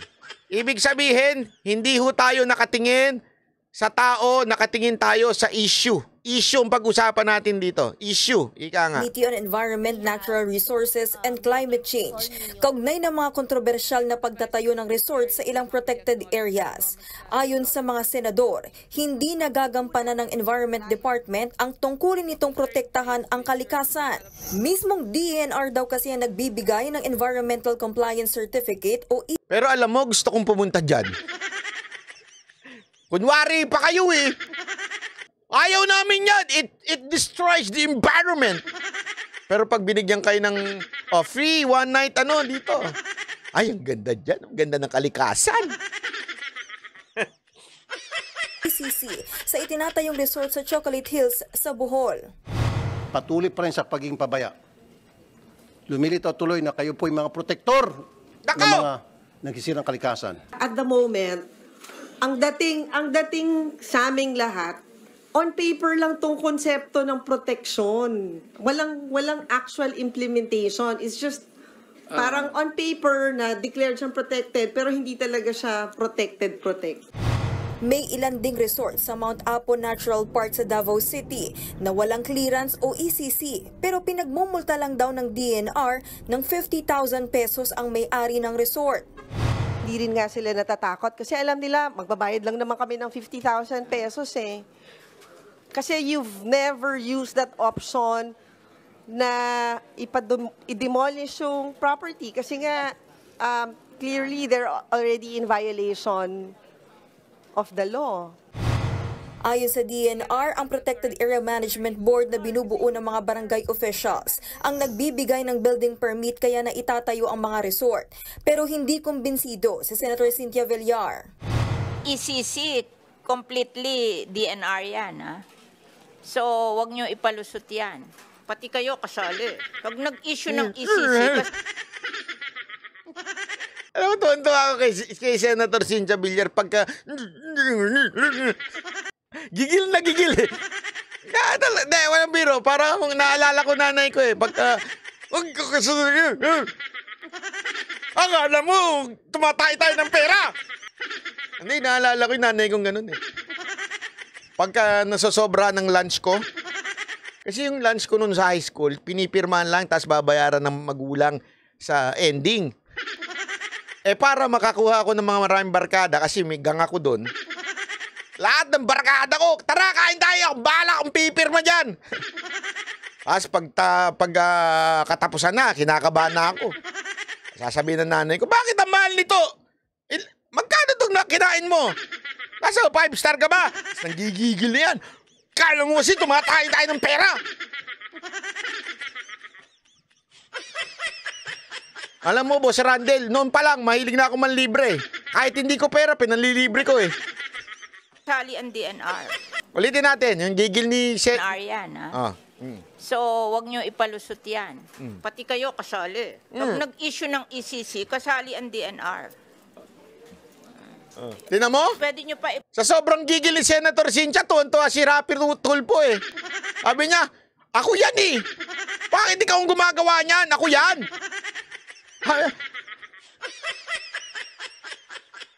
tingnan nyo, tingnan nyo si Senator Rapi Tulfo ah. Nakatingin siya kay ah, Senator Sincha eh. Oh. DNR yan, ha? Oh. So, wag nyo ipalusot yan. Pati kayo kasali. Oh. Pag nag-issue ng Oh. ECC, Di ba napasmile? Nakita nyo, nag-smile. Hindi, ah, pansinin ninyo, akala nyo, observant din ako. Oh, una, yan oh, yan ang itsura ni Tulpo. Nung una, malungkot, parang ano, tinitingnan niya, ano ba sasabihin nito? Tapos nung nakita niya ng gigigil na to, anto si Tulpo. DNR yan, ha? Ah. So, wag nyo ipalusot yan. Oh. Pati kayo kasali. Pag nag-issue ng Oh, ECC, kasali ang DNR. Oh. Doon to si Senator Rapi, sabi niya, tinalo ko nun ah. Ah. Di ba? Lupit eh. Di, tama naman. Ito, tungkol sa issue, nagpapalusot kasi itong DENR. Kasi oh, ang problema ho dyan, nagtuturoan ho sila kaysa sinasabi nila yung iis, eh nasa ilalim naman ng DENR, yun. Di ba? Ngayon, ito problema.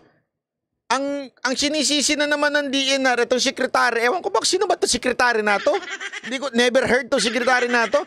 Itong sekretary na to, sinisisi na yung nasa baba, tapos sisisihin pa yung nakaraan. Puro sisi. Pwede nyo pa ipalusot yung PAMBI, may local government doon. But ECC kayo lang yan. Walang nag-i-issue ng ECC kundi ang ano, DNR. So kasalanan niya ng DNR. Para sa mga senador, nagtuturoan at naghuhugas kamay ang DNR sa issue. O sabi naman ni Senator Rapi, ako naman, ako naman, ako naman. Mahilig kayo dito magturuan, kundi magturuan maghugas ng kamay. Ang pinakala sinabi niyo po Secretary Loizaga, it was uh, it was before your your term, your, okay? Sige, granting gano'n na nga. Now, ikaw na nakaupo at alam mo may mga violation, correct it. Yon! Alam mo, that's a perfect. Sa akin ha, issue tayo, issue. Hindi si Tulpo, issue, issue. O yung mga ano, allergic kay Tulpo. Makinig muna mga allergic. Mga allergic kay Tulpo. Makinig muna kayo ha, issue muna tayo, issue. O, issue. Tama yung sinabi niya eh. Bakit? Sinasabi kasi nung taga-DNR, sekretary, ah, hindi ko po panahon yan. Panahon nung nakaraan. Tama yung sinabi ni Tulpo. Tama na yung sisi dun sa nakaraan. Kayo na yung nakaupo. Kayo ang gumawa ng paraan. Hindi porket nakaraan yan, okay na yan. Eh, ano ngayon kung nakaraan na binigyan sila ng permit? Eh, ikaw na nakaupo ngayon. Tingnan mo ngayon kung si i-review mo yung mga nabigyan ng permit at bakit ganito nangyari. Ikaw na ngayon eh. Oh, yung mga ano, mga allergic kay tulpo.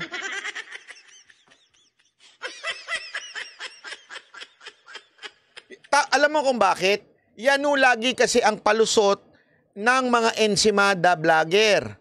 Yan ang mga palusot ng mga tangang pulpul na vlogger ng ah, sumusuporta dito sa administrasyon na to. Laging sinasabi niya, nakaraan yan, eh, nakaraan yan, eh, nakaraan. Eh mga tarantado pala kayo. Kung ayaw ninyo, nasisihin kayo, eh di bumaba na lang kayo sa posisyon, pababain nyo yung mga sekretary sa posisyon, kasi ano na ho yan eh, ikaw na pinalit eh. Di ba? Ay, pwede yung ba sabihin sa jowa mo? Porket yung jowa mo, ang daming ano, ang daming ah, ah, drama sa buhay. Kasabihin mo, hindi naman ako yan eh. Bakit ba ako ang pinagdududahan mo? Yung ex-boyfriend mo nanloko sa'yo, hindi ako. Eh sinabi mong mahal mo yung jowa mo eh. So ibig sabihin, kahit yung mga baggage niya, yung mga problema niya, dapat mong tulungan at intindihin kasi ikaw na jowa ngayon eh. Hindi, ano naman ang sisi pa rin? Ah, eh, kasi yung ex mo, ginago ka eh. Kung kasalanan ng ex mo. Hindi ganun yun. Intindihin mo na sila, siya ngayon kasi nga ikaw na jowa. Tama mali. Tama yung punto ni Tulpo dito. Ang ganda nung, tu- nung ano punto ni Tulpo dito eh. Oh, mga ano, mga allergic. Pasok! It was before your your term, your, okay? Sige, granting gano'n na nga. Now, ikaw na nakaupo at alam mo may mga violation, correct it. Wag no, don't, don't blame other people. Don't blame the previous administration. Correct! Perfect! Tama na. Eh, tanungin ko kayo. Yung mga allergic kay tulpo, mali ho ba ito? O tama? Imagine natin hindi si tulpo yan ha. Kung wari si Banat ba yan?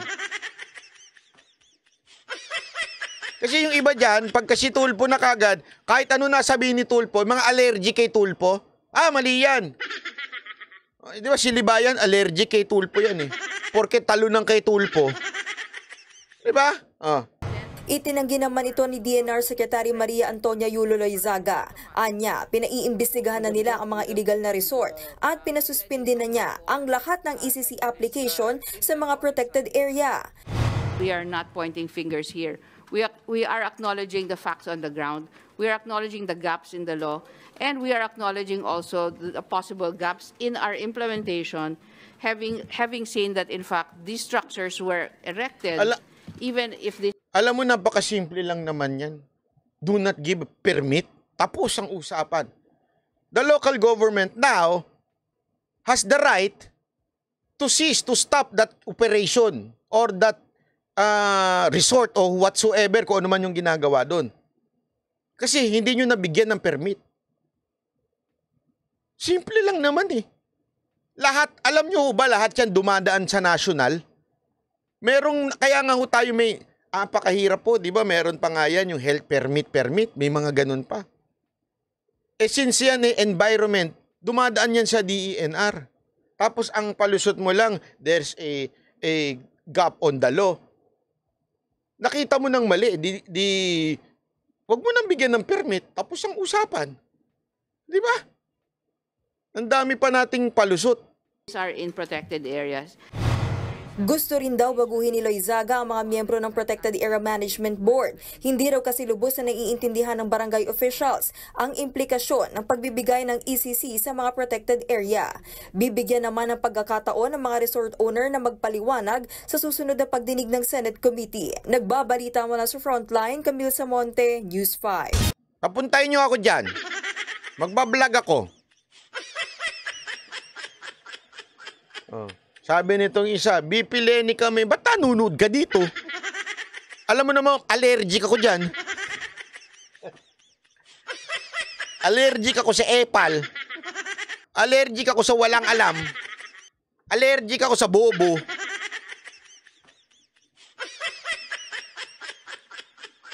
Oh, di ba? Oh, iba naman. Oh, ito naman. Si Pastor. Naglabas na ng arrest warrant ang korte sa Davao City laban kay Pastor Apollo Kibuloy. Eksklusibong nakita ng News 5. Eto naman, paulit-ulit tong issue na to ha. Sasagutin ko na to. Eh bakit na nahimik si Tulpo sa PCSO? Paulit-ulit kasi yan eh. Eto lang, wala ho akong alam eh. Hindi ko alam yung ganyang issue na yan kung bakit, kung nahi- nanahimik ba siya. At kung meron ba tayong katibayan na binayaran siya ng PCSO, hindi ilabas ho natin. Pero yung mag-aakusa lang tayo because based on our opinion, kayo na lang ho. Huwag nyo na ako isama, ha? Kasi hindi ho ako katulad nyo na nag-aakusa ng walang ebidensya. Okay? So, wag nyo na ho kaming idamay dito. Ang Banateros ho, laging we ask for an evidence. Ah, bakit ba? Kasi may mga nilabas din, ho, in, in fairness, may mga nilabas si Tulpo na sinasabi niya, itong ginawa niya, ganito, ganito. So may nilabas din yung, yung mga ibang vlogger na binayaran daw ng PCS o si Tulpo na wala namang nilabas na ebidensya. Eto si Tulpo, may nilabas siya na mga ebidensya na sinasabi niya na sinitan niya ang PCSO. Ganito. Ito walang ebidensya. Ito kahit papaano may ebidensya. Gusto niyo pilitin ako maniwala sa wala lang ebidensya? Ang hirap eh. Hindi ho yun ang ganun ng personality ng mga banateros. Di ba? So, kayo na hong bahalang ah, humusga kung kayo is, kayo na yan. Labaso ako dyan. Magpakita muna kayo ng ebidensya sa akin na binayaran siya ng, ah, ng ah, PCSO, okay. Ba- la- laban tayo dyan. Pero kung, kung dahil lang sa chismis, dahil lang kinwento ng isang vlogger, huwag niyo na kami idamay. Idadamay niyo kami. Iba ang level ng Banateros. Ang Banateros, may, may, may, may ano, ang basihan lang namin eh, yung ebidensya. Doon lang kami nagko-comment sa ebidensya. Okay? Doon lang kami. Kung walang ebidensya, hindi ko kami magko-comment. Okay ba yon? Malinaw. Ulitin ko ah, hindi ko sinasabing hindi totoong binayaran. Hindi ko rin sinasabing binayaran siya. Hindi ko rin sinasabing bakit siya tumahimik? Tama ba yung tumahimik siya? Hindi ko rin sinasabing wala nga eh. Hindi nga kami magko-comment tungkol dyan. Bakit? Eh, Wala ko kami makita eh, na ebidensya eh. Anong gusto nyo? Mag-comment kami sa something na kwentuhan lang. Sinabi lang ni ganito, sinabi lang ni ganire. P- pwede ba yun? Huwag nyo kaming ganun. Iba level ng banateros. Ebidensya lang. Ah, sabi ni Libayan, ay, bahala kayo sa buhay nyo. Wala tayong magawa dyan. Hmm. Tuloy. Ang pag-iikot ng mga tauhan ng NBI sa compound ng Kingdom of Jesus Christ para hanapin ang pastor. Live mula sa Davao City, nasa frontline ng balitang yan, si Jenny Dongon. Jenny, anong update dyan sa pagtugis kay Kibuloy? Tuwang-tuwa yung mga media, oh. Pinagkakaya, ano, pinagkakaisahan nila to si Kibuloy tsaka Eseminay, oh. Oh, tuloy. Cheryl, itinuturing ng pugante ang ngayon tinutugis na religious leader na si Pastor Apollo Kibuloy. Binigyan ng sampung araw ang NBI at mga pulis para maaresto siya. At kung hindi siya mahuli sa loob ng mga panahong yan, kakailanganin ulit ng korte na maglabas ng panibagong warrant of arrest. Alinsunod na rin yan sa batas. At kanina nga Cheryl, sinimulan na ng NBI at mga pulis ang paghahanap kay Kibuloy at eksklusibong nakita natin yan. Hindi kami yabang. Naaktuhan ng Tuwan-tuwa. Actually, may kuha Rappler dito. Tuwan-tuwa sila. eh. Yung Rappler. News 5 ang pagdating at pagpasok ng mga armadong tauhan ng NBI sa Big Tuwan-tuwa doon si ano si Kuya. Si Kuya yung ano eh. Na, parang namumukhaan ko si Kuya eh. Doon sa Kingdom eh. Sabi niya, pasok lang kayo. Walang problema. Pasok! Pasok! Pagdating at pagpasok ng mga armadong tauhan ng NBI sa Big Dome na isa sa mga compound ng Kingdom of Jesus Christ dito sa Davao City. Bit Alam mo, kung ako sa inyo, alam ko kung saan nahanapin. Joke lang po ito ha. Baka mamaya sabihin na naman nila, si Banat Bay, alam kung saan nagtatago si Kibuloy. Joke lang to. Alam nyo kung saan nyo hanapin? Hindi kasi nung nagpunta kami dyan, meron kaming pinuntahang underground. Yung underground na yon, ah, papunta yun sa ano, parang mga kurye-kuryente, yung mga gener... Kasi meron dyan sa Kingdom, parang mga generator.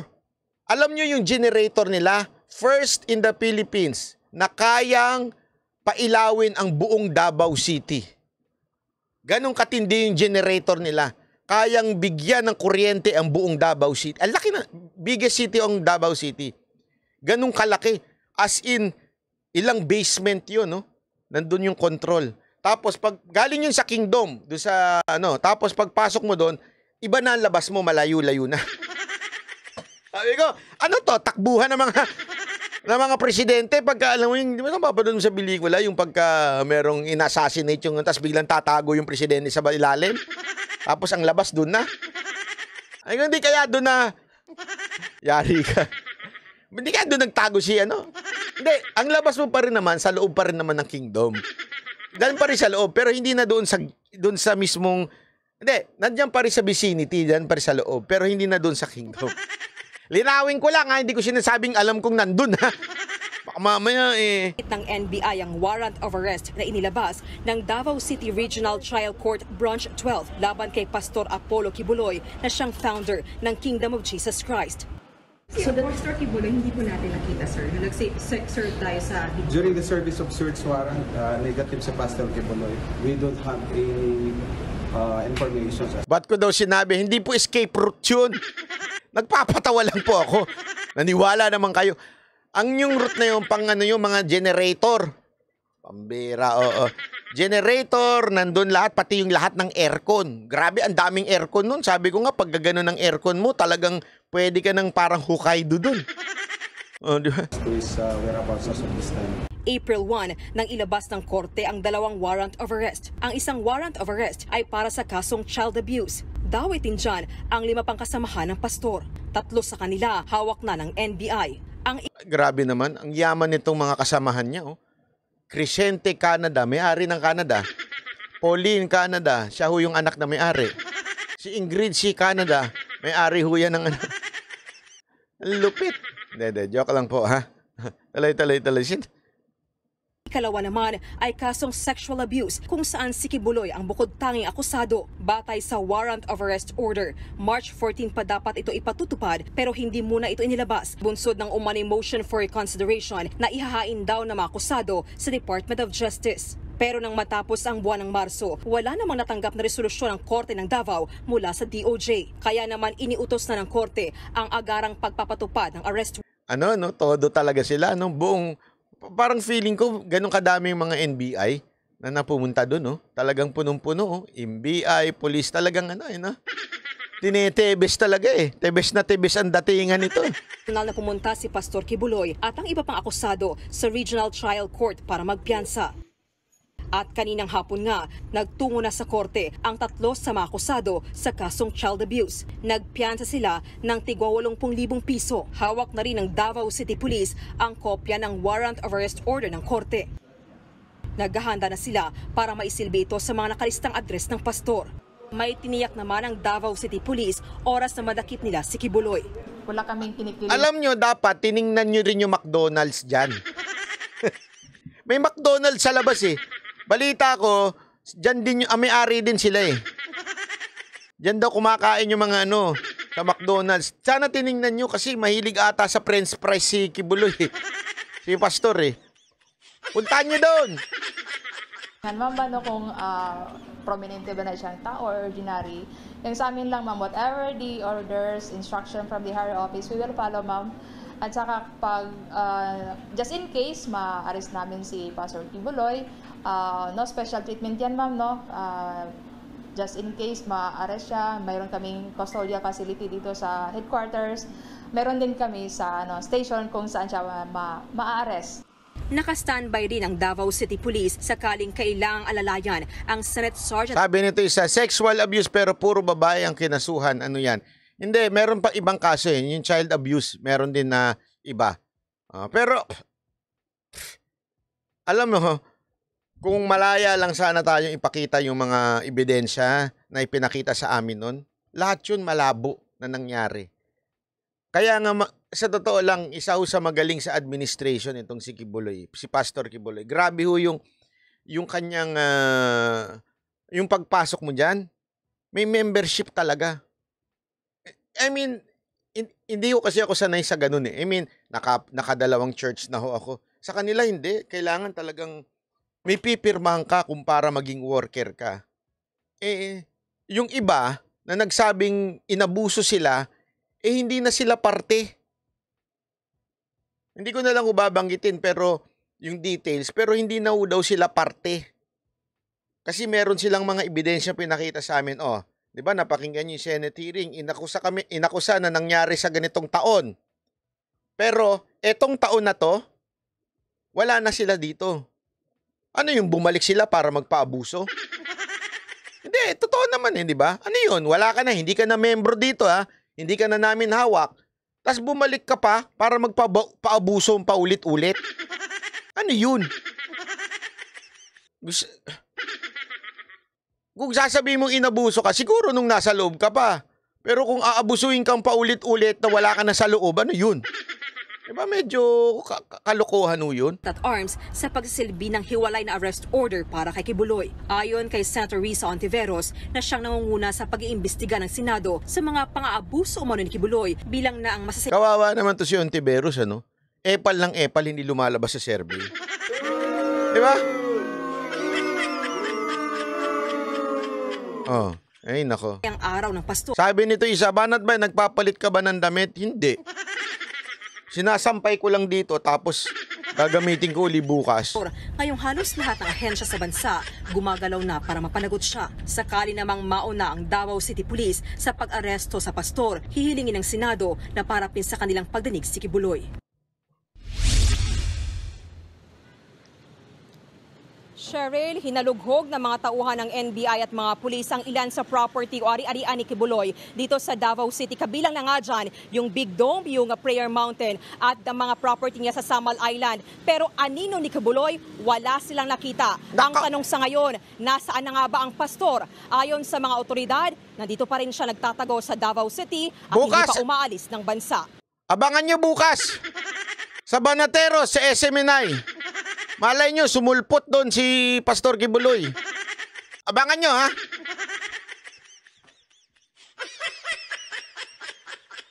Abangan nyo bukas, 8 o'clock ng gabi. Malay nyo, biglang mag-appear sa amin si Pastor Kibuloy. Kasi inimbita namin na na ma-interview namin eh. Malay nyo lang naman. Hindi namin alam kung nasan ha. Kahit si Bantag, di namin alam eh. Tumawag na lang bigla. Eh, kasi nung kinakausap namin si, si Baste, aba, naengganyo si Bantag. Sabi niya, ako din. Tinawagan yung SMNI. Sabi nung SMNI, sino to? Si Bantag to. Ha? Totoo ba si Bantag ka? Gusto mo pasabugin ko. Eh, ganun. Sabi ko, ah, ganun ba? Sige, sige, sige. Oh, tapos tiningnan nila. Oh, yun, nakita nila. Eh malay nyo, biglang mag-appear si, ano, si Pastor Kibuloy dyan. Pastor Kibuloy, kung nanonood ka man, kung saan ka man nanonood, sige na, interviewin ka naman namin para mas lalong uminit ang mga puwet nila.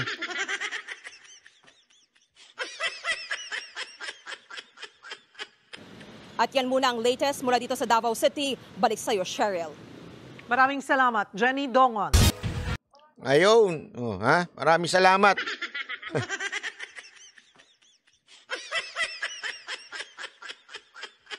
Ay, ah, ito, speaking of Banatero sa SMNI, bukas uli ha, panoorin ninyo. Baka naman iiwan nyo kami. Kahapon, naka 12 mil tayo. Baka bukas, wala na. Baka 1,200 na lang ha. Nagsimula na nga ang mga banatan at kulitan ng Banateros Brothers sa SMNI kung saan libu-libong mga netizen agad ang Baka po, tumutok sa kanilang talaga.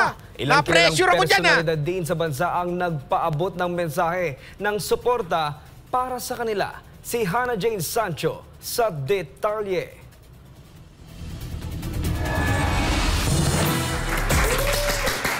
Isang malupit na palakpakan naman tayo dyan. Hoy! Ayun. Ayun na. Eto na. Tangan-tangan nito ni Banat Bay. Hindi ko naman kasi alam eh. Sabi ni Boss Dada, hindi pala dapat kami yung papalakpak sila. Pasensya na, pasensya na, walang pindutan eh. Dapat, ganon! Sa susunod eh, Seminay, lagyan niyo ako ng pindutan dyan ha, para pindot ako ng pindot. Ah, kami po ang Banateros at ah, Ay, grabe, ang pogi naman niya si Paulo Contis. Flawless! Yan ang tawag na... Before and after. Natanggalin natin. Oh. Before ako nag ah, Icon Clinic.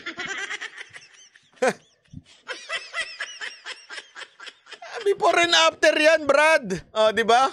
Anong bibig pa. Labi pa lang yan. Sarap na. Naku po, pag natikman yung labi niyan.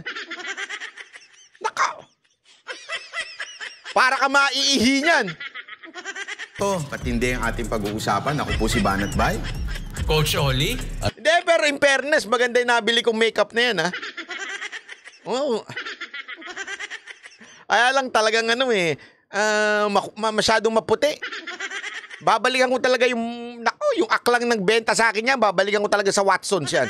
Siyempre, Boss Dada.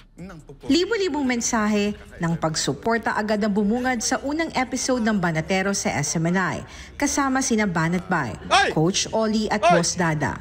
Umabot sa halos 12,000 live Eto, makinig kayo ha. Alam nyo ba na hindi nila alam na magkapatid kami ni Coach Oli? Ayaw nilang maniwala.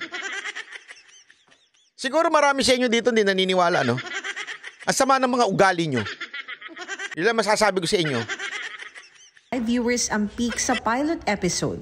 Komento ng ilang mga netizen, hindi sapat ang isang oras kaya naman sana ito'y humaba pa. Unang araw pa lang, 6 Pero tingnan nyo naman, sino mas pogi sa kanilang tatlo? tingnan mo naman, sino flawless dyan? Oh, sige, sa- sa- sabihin nyo, bumoto kayo ngayon. Ah, moderator ha, I- i-kick nyo yung mga magsasabing si, Coach Oli at si Boss Dada. Tingnan nyo sa tatlo na yan, sino ang flawless? Sila kitang-kita nyo yung mga nag, ah, nagsashine sa mga mukha nila. Yung mga oily faces nila. Tingnan mo naman yung nasa gitna. Artistahin ng dating. Huwag nyo na lang titignan yung leeg. Ah, huwag nyo nang tingnan yung leeg. Kasi magkaiba kulay eh. Tingnan nyo lang yung muka. Flawless. Sikagad ang programa ng may init at mabibigat na usapin ngayon sa bansa. Paano ba naman sina Davao City Mayor Baste Duterte at dating Bureau of Corrections Chief Gerald Bantag ang unang sumalang sa programa? Sumentro sa usapan ng kampanya kontra iligal na droga, ang gerang kamakailan lang ay diniklara ni Mayor Baste sa Davao. Hindi, alam nyo, kung hindi nyo naman ako napapanood ng live, hindi nyo naman mapapansin.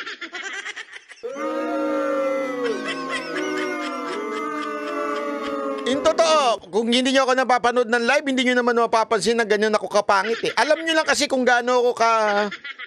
ka itim. Ay, isa personal.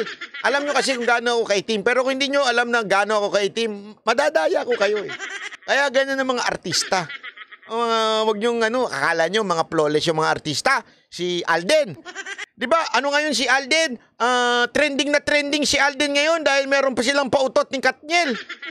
Tapos nagagalit ngayon yung mga Aldab. Sabi nila, no to cut, uh, ano yun? Cut den. Yeah? Ah. Tuloy. Sige, sabihin natin Davao, may mga rape cases, may mga ano. Bakit yung war on drugs, doon pa sila nag-react? Na pwede naman na, you know, these are people that are selling drugs. Sinisira yung mga community. And yet, dyan pa sila mag-react. Samantala, sa gitna man ng kontrobersya, hindi rin napigilan ni Bantag na magpahayag ng kanyang mga saloobin. Oo nga, hindi niya napigilan tumawag sa SMNI. Ulitin natin ha. Are you listening, DOJ? Hindi napigilan ni Bantag tumawag sa SMNI. Hindi po sa amin. Sa mga nangyayari ngayon sa bansa, pinuri din niya ang hakbang ni Mayor Baste sa hakbang na ginawa nitong war on drugs. Kasi nga, alam naman natin ang mga nangyayari. Uh, sa tanong naman kung anong reaksyon ko dun sa ginagawa ni Mayor Basi, ay napakaganda yan. Kasi nga yan yung mga hiling namin o ako mismo at ng taong bayan na nagustuhan yung ginawa ng tatay ni Digong, tatay niya, si PRRD nga, Mayor Digong, nagustuhan ng marami. Sino bang may ayaw na nakakalakad ka na sa rekto ng wala kang pangamba, na may snatchan ka, wala na yung mga adik na naglipa na, hindi lang sa rekto, kundi sa buong, sabihin natin, buong Pilipinas, hindi man 100%, pero talagang nagkaroon tayo ng katahimikan pagdating dyan sa dulot ng illegal na droga. Kaya uh, saludo, saludo ako kay Mayor Basde. Gustong gusto ko yan. Ngayon kung tatakbo sana ng presidente ngayon yan, iboboto ko kagad siya. Naging mainit rin ang banatan sa usap-usapan ngayon na operation document na inilabas ng political vlogger na si Maharlika sa social media. Ito'y patungkol sa umano'y paggamit ng Pangulong Bongbong Marcos ng illegal na droga sa isang lugar sa Makati City. Antayin po natin. Tingnan po natin si BP Sara. No? So, kung anong kanya masasabi. Uh, doon po tayo. Ikaw, Boss Dada. Well, ako, itong uh, balitang ito, eh, kasi para sa akin, Parang kagalang-galang si Dada dito, no? Parang hindi makabasag pinggan. Ayan. Hoy, Dada! Mapagpanggap ka, ha?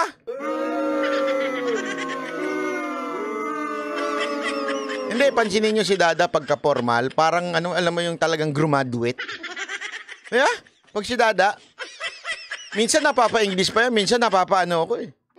Ito English speaking tong animal na to ah. May pagka ganun eh. Yeah? Napapa-English. Ay, nako. na ah, maganda ito kasi prueba. Pero ang tanong kasi is, gaano ba ka ah, accurate itong ah, papel na ito? Ito ba ay... ah, kasi alam naman natin na, na dininay ito ng ano, dininay ito ng ah, PIDEA. Sinasabi nga nila na hindi, wala daw ito. Wala daw ito sa kanilang records at imposible daw po Yung dalawa nag-iingat pa sa komento eh. Alam mo, sabi ko dyan eh, tinanong ko, ano masasabi nyo tungkol dyan sa dokumento na yan? Si Coach Oli, eh, depende ko anong ano ni Baby Sara Duterte. Eto naman isa. Eh, alam mo yung safety. Kasi siyempre, mahirap pagka binanatan si Marlica. Alam mo naman, napakaraming panatiko niyan. Yung mga daming kulto niyan eh. Oh, marami naman talagang kulto si si Marlica eh. Eh kaya lang, alam mo pag mga ganyan talaga, kaya ayoko mag-comment eh. Minsan talaga gusto kong tanungin sila eh, sigurado ba kayong gusto nyo ako mag-comment dyan? Ay hindi nyo talaga, pag ako nag-comment dyan, talagang wapak! na ma-tamper or uh, ma-hack yung kanilang uh, uh, system. So, uh, dinideny nila ito. Pero nakukulangan kasi eh, yung uh, mga netizens, marami tayong nababasa sa social media na hindi pwedeng ano lang, basta denial lang. No, syempre kailangan Alam mo, gigil na gigil na ako dyan eh. Kasi, gusto, alam mo yung pakiramdam ko na, mali talaga eh. Kapag, eh tapos, nung biglang nagsalita na ako, sabi ni Coach Oli, medyo ano ah, dumami yung ano ah, nagalit ah. ang uh, PIDEA, eh, gumawa sila talaga ng uh, hakbang para talagang itong uh, issue na to ay matuldukan. Hindi lang sa isang simpleng denial, but syempre kailangan malaman nila or imbestigahan nila ng mas malalim saan galing itong dokumento na to. Kung talagang totoo yan. Sabi mo ha, kung sakaling totoo yan, Ano napaka-importante niyan. Oh! Na buong bansa ang mapapahamak Oh! kung meron talaga tayong ganyang klaseng presidente. Oh, eh bakit yung pabibitinin? Oh! Bakit yung pagugutumin ng taong bayan? Naku po! Para lang dyan sa sa ganyan. Di ilabas nyo na yung video. Naku, patay tayo dyan! Saman-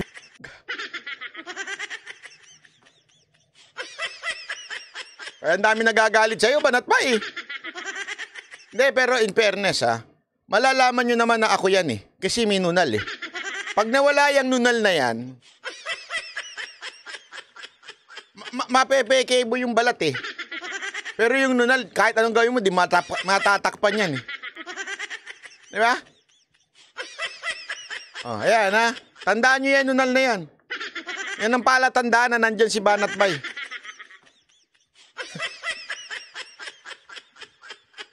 Bibitinin.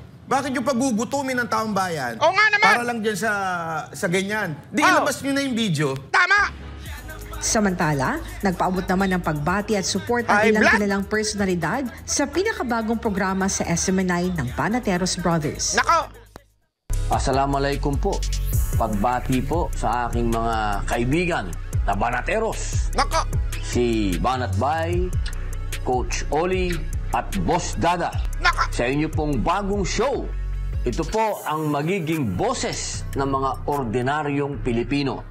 Boses na walang itatago. Yon! Boses na totoo.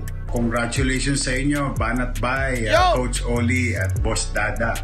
Keep it up. I wish you all uh, success and good job. Uh, mag-iingat kayo and may God uh, continue to guide and bless each and every one of you. Congratulations to Byron, Byron! Lord Oliver, and Darwin on Sino yung Byron na yon? Ito naman si Atty. Vicky. Sinong Byron? your news show, Banateros in SMNI. As members of the Fourth Estate, you hold a special place in our community that comes with a big responsibility. Use your influence as a venue where intelligent views and elevated public discourse may take place so that public opinion may shape free from unwarranted pressure and influence. Masaya ko pong binabati ang ating mga banateros Sabi ni Brian Ike, dapat nagbabasa kayo ng comment. Actually, yan talaga yung plano. Kaya lang sa sobrang bilis ng comment, wala na kami mabasa. Totoo, walang biro ho. Hindi ko kami nagbibiro. Ang bilis nung comment eh. Nung ah, talagang, ganun na yung mata ko, gumaganon ganon bumilog-bilog na yung mata ko eh. Siguro sa susunod, pagka ano, ah, katanong sasabihin natin sa SMNI na ah, sila nang bahala mamili ng babasahin naming comment. Kasi hirap basahin eh. na sina Banat Coach Oli at Boss Dada sa inyong bagong programa sa SMNI na magiging kasama natin tuwing Martes at Huwebes mula alas 8 hanggang alas 9 ng gabi simula April 2. Sa pamamagitan ng inyong programa, inaasahan kong marami pa tayong kababayan ang magiging mas mapanuri at matalino sa pagtanggap ng balita Sige, at papa impormasyon. slow mode ko. Alam kong hindi ito madaling gawain, Ngunit sa inyong dedikasyon at pagsusumikap, tiyak akong magtatagumpay ang programa. Congratulations, Bandateros, sa new show niyo sa SMNI. Mabuhay kayo. Mapapanood ang mainit na talakayan ng Banateros sa SM9 Ayun na. Martes at Huwebes, live. Habang mayroon naman itong replay Ay, ang pogi! Ang pogi-pogi niyan! tuwing Miyerkules at Biyernes Sabi sa akin nung kumukuha, gumanong ka. Sabi ko, hindi ko hindi ko kayang isara. Medyo malaki na yung chan ko tsaka yung dede ko eh. Basta gumanong ka. Sige na nga. alas 8 ng gabi. Para sa Diyos at Pilipinas kumahal. Ito si Hannah Jane Sancho, SM9 News. Ayun na. O, di ba? O, di bukas sana manood uli kayo ha kasi pag di kayo nanood bukas, wala na, baka wala na. Baka wala nang mang, ano, wala nang susunod. Marvin Galpo, maraming maraming salamat po. Ah. Naiipit yung oo, naiipit kasi. Si Cass Janet, hindi man lang bati na... Wala na. Alam mo, gusto ko nga i-guess to si ano eh, si Ibana, na ma, ma ano, totoo ba? Totoo ba at saka kayo nung isang mayor? Wag na, baka mamaya. Mapagalitan pa ako nung nanay niya. Ah, anyway, ito pa, ito pa, ito pa, ito pa. Oh, ah, ano ba ito, ito, ito, ito. Ay, wala na pala. Bukas na uli. Maraming maraming maraming maraming maraming salamat po. Thank you very much po. Kita-kits uli tayo bukas. 8 to 9 p.m. sa SMNI. YouTube sa Sunshine Sunshine Media. Okay? Sunshine Media. Andun po tayo. Hope Molina Jr. Salam ay Mo- Hope Jr. Hope Molina R. Salamat po. So, kita-kita uli tayo. Abangan niyo po yung makeup ko bukas. Kasi yung iba, di ba, inaabangan ko ano susuot ng mga ano. Ako, abangan niyo yung makeup ko. Malay nyo, iba na. 8 p.m. Manila time ha. Manila time. DZAR din. Sunshine Media. 2 hours po ba? Hindi, isang oras lang. Maawa naman kayo sa amin. hindi hindi po kami sanay. Alam mo, alam mo mahiyain pa naman kami. Actually, sa totoo lang, ang pinupunta lang namin doon yung pagkain. Masarap kasi yung dinner doon lagi eh. Yung yun lang pinupunta ko doon eh.